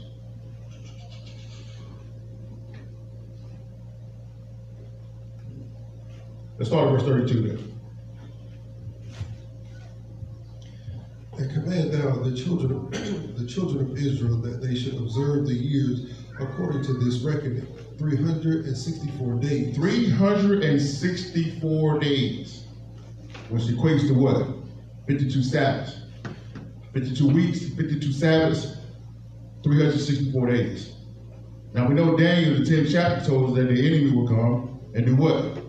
Change the calendar, try to change signs and times. That's why he did that, to throw this off. So he said, How are you doing that if you're saying 365 on the calendar, doing 364? Keep going. And these will constitute a complete year, and they should they will not disturb his time from its days and from his feasts. For everything will fall out in them according to their testimony, and they will not leave out any day nor disturb any feast. You see that? So that's how we know when the New Year is. When New Year starts, 14 days later, it's the Passover. Never changes. We don't, it, it's never, we never, it's never gonna be, we don't know what day the Passover is. I can tell you right now, look at the calendar, I can tell you what day the Passover is next year. I can tell you what day the Feast of Unleavened Bread. Because we follow this. In the book of Enoch. Then just count three sixty-four and just keep doing that. over and over. Yeah. But you can only do that if you're starting from the sun initially. If you if you're if let me let me explain. Verse 33.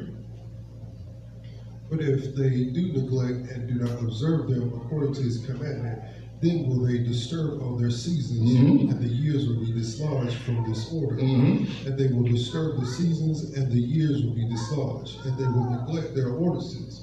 And all the children of Israel will forget and will not find the path of years, and will forget the new moons and seasons and Sabbaths, and they will go wrong as to all the order of the years. See that? That's what happened.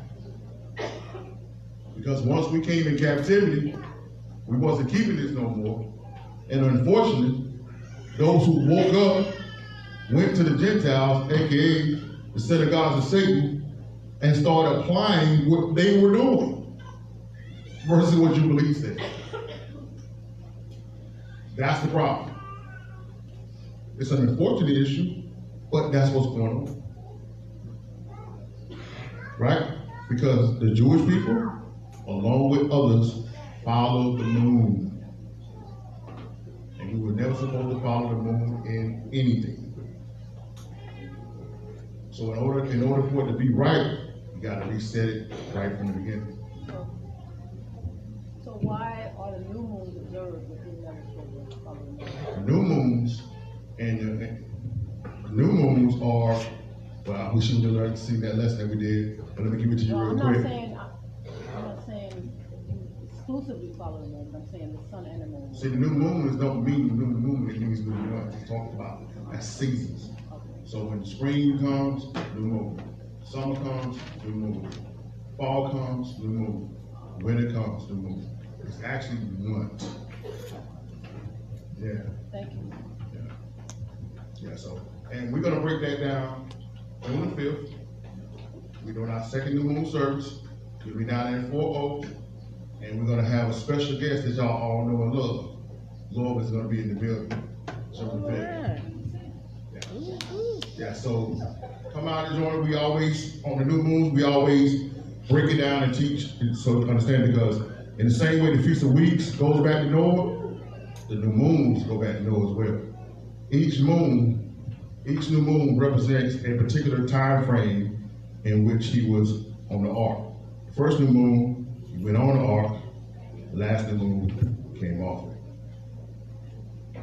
So it's, it's all, it's his, Jubilees is a very, very important book.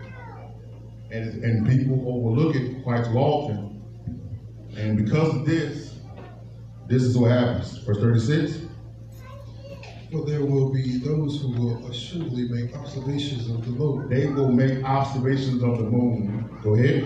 Now it disturbeth the seasons and cometh in from year to year ten days, two So what happens is, what happens is one year it'll come in 10 days early, next time it'll come in 10 days late. This is the reason why they follow those who follow the spring solstice. You see in the Christian church, Easter will be in March one year, the next year to be in April. Yeah.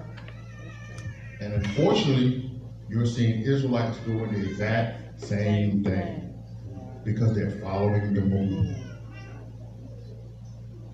Our Passover is always the third week of March every year.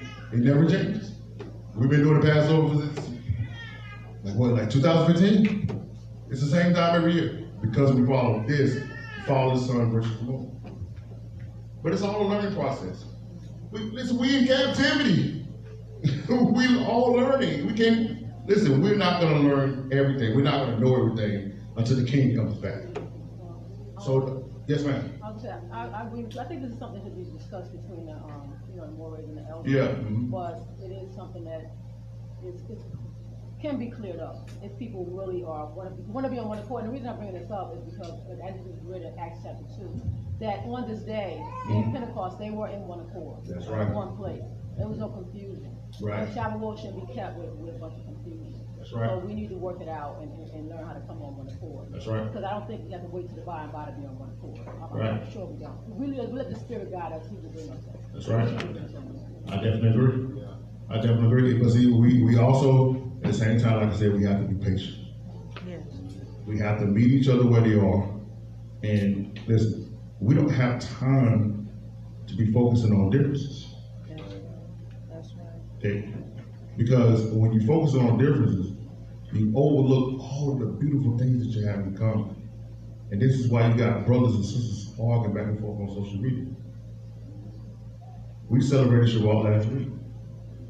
You think it's gonna keep you from not coming up and celebrating my brothers and sisters? But I know Israelites who went in their king today. but in the building. And just like you said, like sister said, we sit down amongst the elders, we can have this discussion and get on one accord.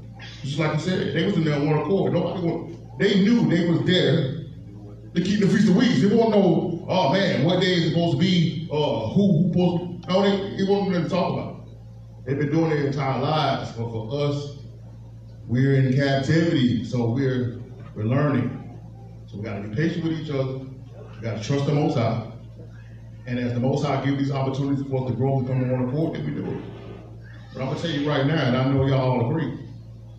Hey, I, I don't need you. I don't need you to, to think like me. I need you to think with me. you understand? And we're gonna we're gonna do this thing together. And we're gonna trust the Most High. And as He He gives us understanding, we'll build upon it. It. Huh? Hallelujah. So that's what it is. So that's why we do what we do. But I ain't mad at my brothers and sisters. You honor the Most High the way you know how to do it where you at. Just keep learning, keep growing, keep seeking. He said, knock and the door shall be open. Seek and you shall find. That's it. That's it. Hallelujah. Hallelujah. Any other questions? What about my people's back there? I, I, I know how y'all get down. I see snow bags. when I hit 85, I'm out. what y'all got? What you got, Misha? Good? Nisi? What you got? Y'all know, I'm telling you right now, I'm answering calls right now, but just stay right there. That's my family back there, though. Love to death. Love them to life. All praise. All. So we're gonna turn this back over, um, seventy hours. Uh, we're gonna ask you guys to, um, matter of fact, let's lift up our hands to heaven. Let's make a declaration unto heaven today. Say, Abba, Abba, I love you, I love you. but I thank you I thank you that you first loved me. that you first loved me. I understand I understand. that I had failed you. that I have failed you. I understand I understand. that there's more for me to do. that's more for me to But do. this one thing Just one thing that I do understand that I do understand that I am nothing I am nothing without you. without you. But through you But through you and with you, and with you, all things are possible. all things are possible. Continue to open my eyes. Continue to open my eyes. Continue to show me the way. Continue to show me the way. And. I promise, And I promise, with everything that is in me, with everything that is within me, that I will walk, that I will walk. and I will talk, and I will talk, and I will be your light and I'll be a light upon this dark earth. upon this dark earth. I trust you. I trust you. I love you. I love you. I honor you. I honor you. I adore you. I adore you. And I know And I know that I am the apple that I'm the apple of your eye. of your eye. So regardless So regardless of what the world may say, of the world may say, I am I am your son, your son, your daughter, your daughter, and in you and in you I live. I live. Hallelujah. Hallelujah. Hallelujah. Hallelujah. Hallelujah. Hallelujah.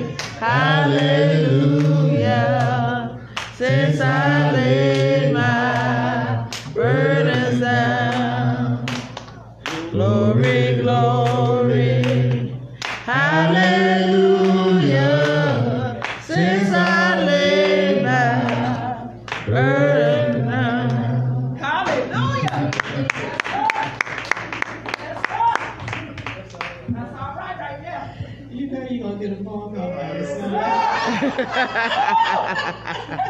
had to run, I had to run for my brother.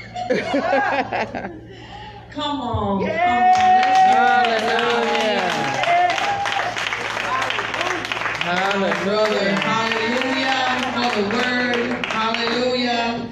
What an awesome, awesome, awesome presentation of y'all's word on today. We give give Yah all praises, honor, and glory for the word. Hallelujah. Hallelujah. Hallelujah. I gotta look at it again.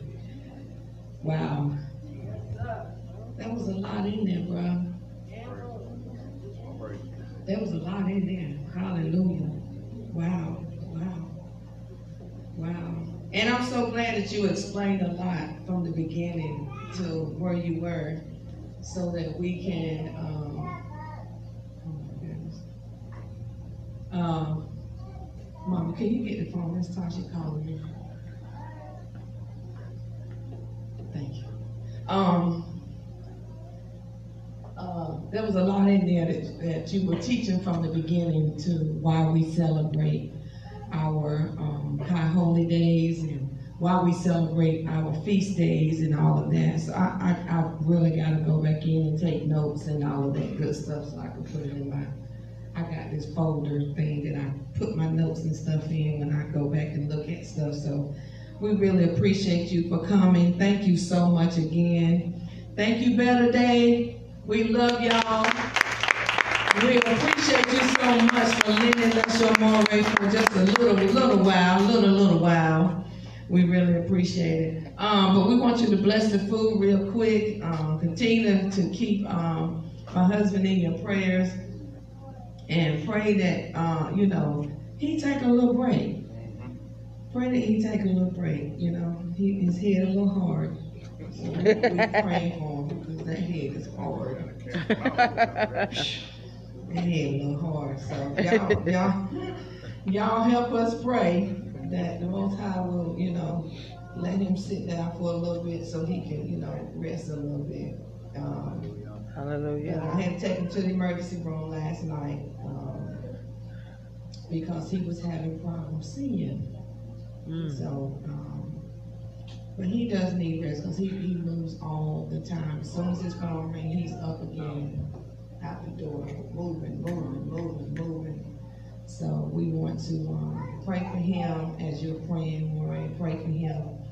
And um, like you said before, the enemy has been attacking several people of our assembly on this week. Uh, several, several, several people this week. You know, I was driving, taking him to um, get his MRI done on Friday, and I went and took him home. Not, not the MRI. I took him to the doctor. Took him home because he had to get a um, the other procedure on his back. Took him home because the medicine makes him real droggy and drunk a little bit. Got him home, went to pick my granddaughter up from school, and the car started doing some little crazy stuff, my truck, and come to find out, there were no lugs on the wheel. Just one lug holding holding the uh, wheel on. One lug.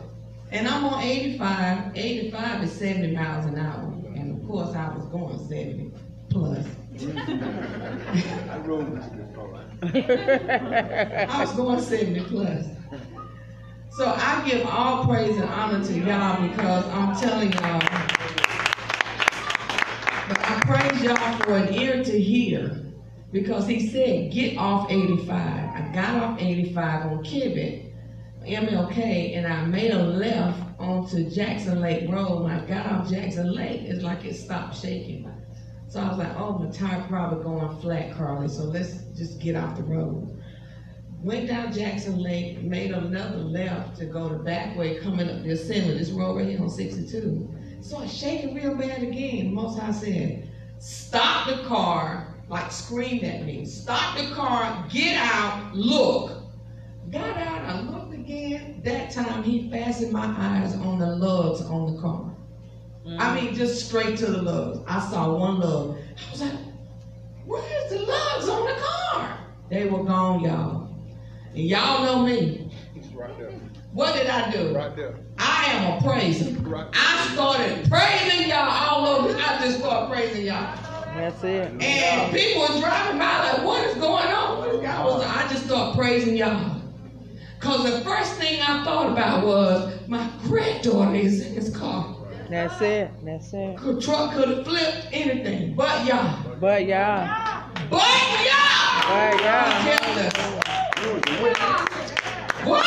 He kept us. Then I hear that someone else got attacked. Someone else um, got attacked where the enemy tried to put them in jail. Then Sister Terry got hit, car hit her and ran. Hallelujah. Then something happened with Sister Lorraine. And I'm like, devil, you a liar. That's it. Then my husband gets sick, had to rush him to the hospital last night. I was like, uh-uh. Devil, you are a liar. You will not come up in here and disturb this atmosphere. This place belongs to Yah. Yah gave us this place That's it. to be a help to our our assembly, to our families. Hallelujah. Hallelujah. To our community. And you gonna come up in here and do this this morning. That's why I was like, thank you, bro. The enemy is trying us, y'all. We gotta come together as a community and build together as a community. Because guess what? We're stronger together than we are apart. Yes, we are. Hallelujah. Hallelujah. So let, let, let's pray for one another and be here for one another. Hallelujah. Hallelujah. We got to do this together. Hallelujah. So we praise Yah again for our brother for coming and blessing us on today with that awesome word. Let's just give y'all another hand for him. Hallelujah. We're going to ask him to bless our food and as we um, proceed on. And we're going to go on into the, um, for the food. And um, it was another announcement I needed to make and I done forgot what it was. But anyway, I'll Tomorrow? make it. Tomorrow. Service tomorrow? Yes. Bishop will be um, speaking on tomorrow uh, at what time? 12 tomorrow, yes. At 12 o'clock tomorrow. Um, can you come and make the announcement? Hallelujah.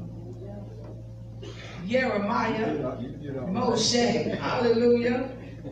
And then we're going to have uh, Maurice. Hallelujah, hallelujah. Uh, uh, yeah, tomorrow uh, we'll be uh, celebrating Shabbat. Oh, did I say it right? we'll be celebrating. I, I, I'm pretty, I'm pretty new at this, about, about I think three years in, but uh, I'm, I'm humbled and honored to uh, be used by the Most High uh, tomorrow. So tomorrow at 12 o'clock, uh, we will be having service and we'll be celebrating. And I just want to say that I you know, I've been, I've been, I've been studying on it, you know, uh, but what I got today really just blessed me and helped me. And I'm, a, I'm gonna meditate on it all night. Hallelujah. So he can just let me carry on what he started today because it's just profound.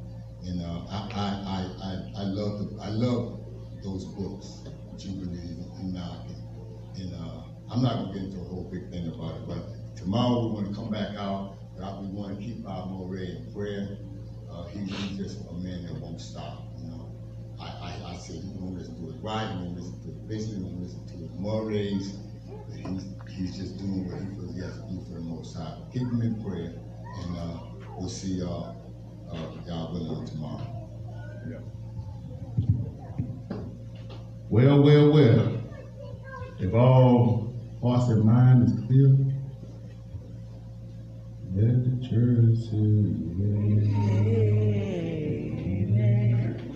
Everybody say amen. Somebody say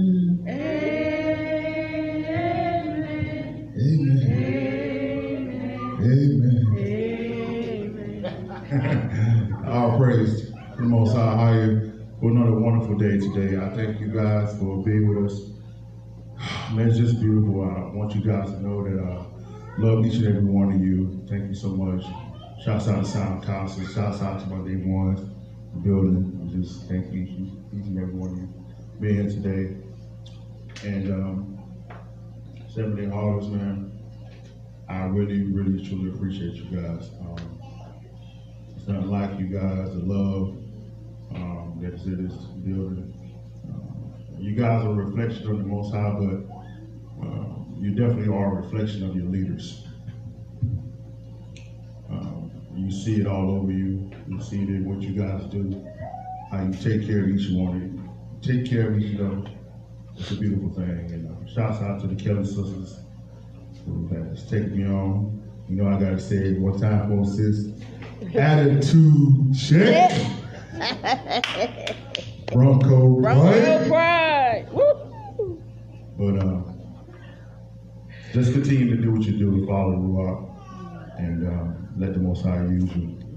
Because that praise, ladies and gentlemen, is what tore down the walls of Jericho. That's it. And our praise is what's going to tear down the walls of Babylon. Remember, the sins of Israel is what's fueling this country. The repentance of Israel is what brings this kingdom down. That's it. You understand? Yes, sir. Your awakening, your commitment back to the Most High is the real pandemic.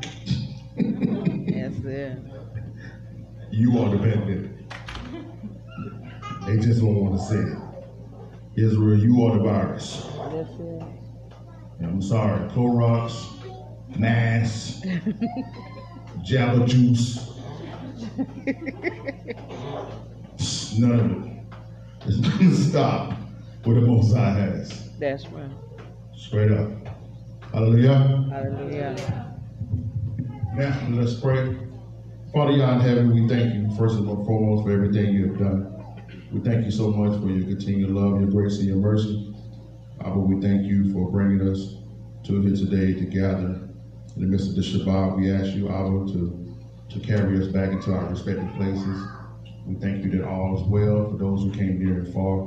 And we thank you, Abba, that you will guide them back into their destinations. Abba, we lift it to my brother, Moreh of his home, Anthony Douglas, and we pray right now in the name of Yeshua that no weapon formed against him shall prosper. I speak from the top of his head to the bottom of his feet, and I cast all infirmities that are not of you back into the place of hell. Yeah. I speak upon him restoration and complete healing in the person name of Yeshua. You said in your in your word, Abba, that by your by Yeshua's stripes he will heal. And so we declare his healing, we declare his clarity, we declare his clearness and sight in the person name of Yeshua. We call it forth right now, and we say it is so. It is so. Uh, we ask a special blessing upon Bishop tomorrow. We pray that you empower him with your ruach, and with your insight, that he may be used for your glory. We pray that your ruach moves mightily throughout this building and move mightily throughout this community and continue to cancel darkness and bring that marvelous light that sits upon the hill. Father, we say a special prayer for all the children here today. We pray that they continue to grow and be the, the children that you called them to be. We speak against everything that is not of you. We cast all the enemy upon them, and we just call them forth to be the sons and the daughters in which you called them to be. We ask you, Abba, to bless those who watch us via social media. We ask you to move mildly throughout the airways. We ask you to knock down the walls of, of disappointment, knock down the walls of pain, knock down the walls of church hurt, knock down the walls of, of, of sin and, and, and, and self-guilt and depression. And we pray, Abba, that they would hear your voice and not ours, that they would see your son and not us, and that they will receive the marvelous gift of salvation upon their lives. We ask you, Abba, to bless the food, to bless the resources that provided food. We ask you to bless the preparers of the food, allow it to be nourished to, to our body. And it's in the precious name of Yeshua, Mashiach, that we do pray, let the redeemed say, Amen, Aman. Amen, Aman. Amen. Aman. Hallelujah. Hallelujah. Rakadah, Kwam Yasharala, Shalom. Shalom.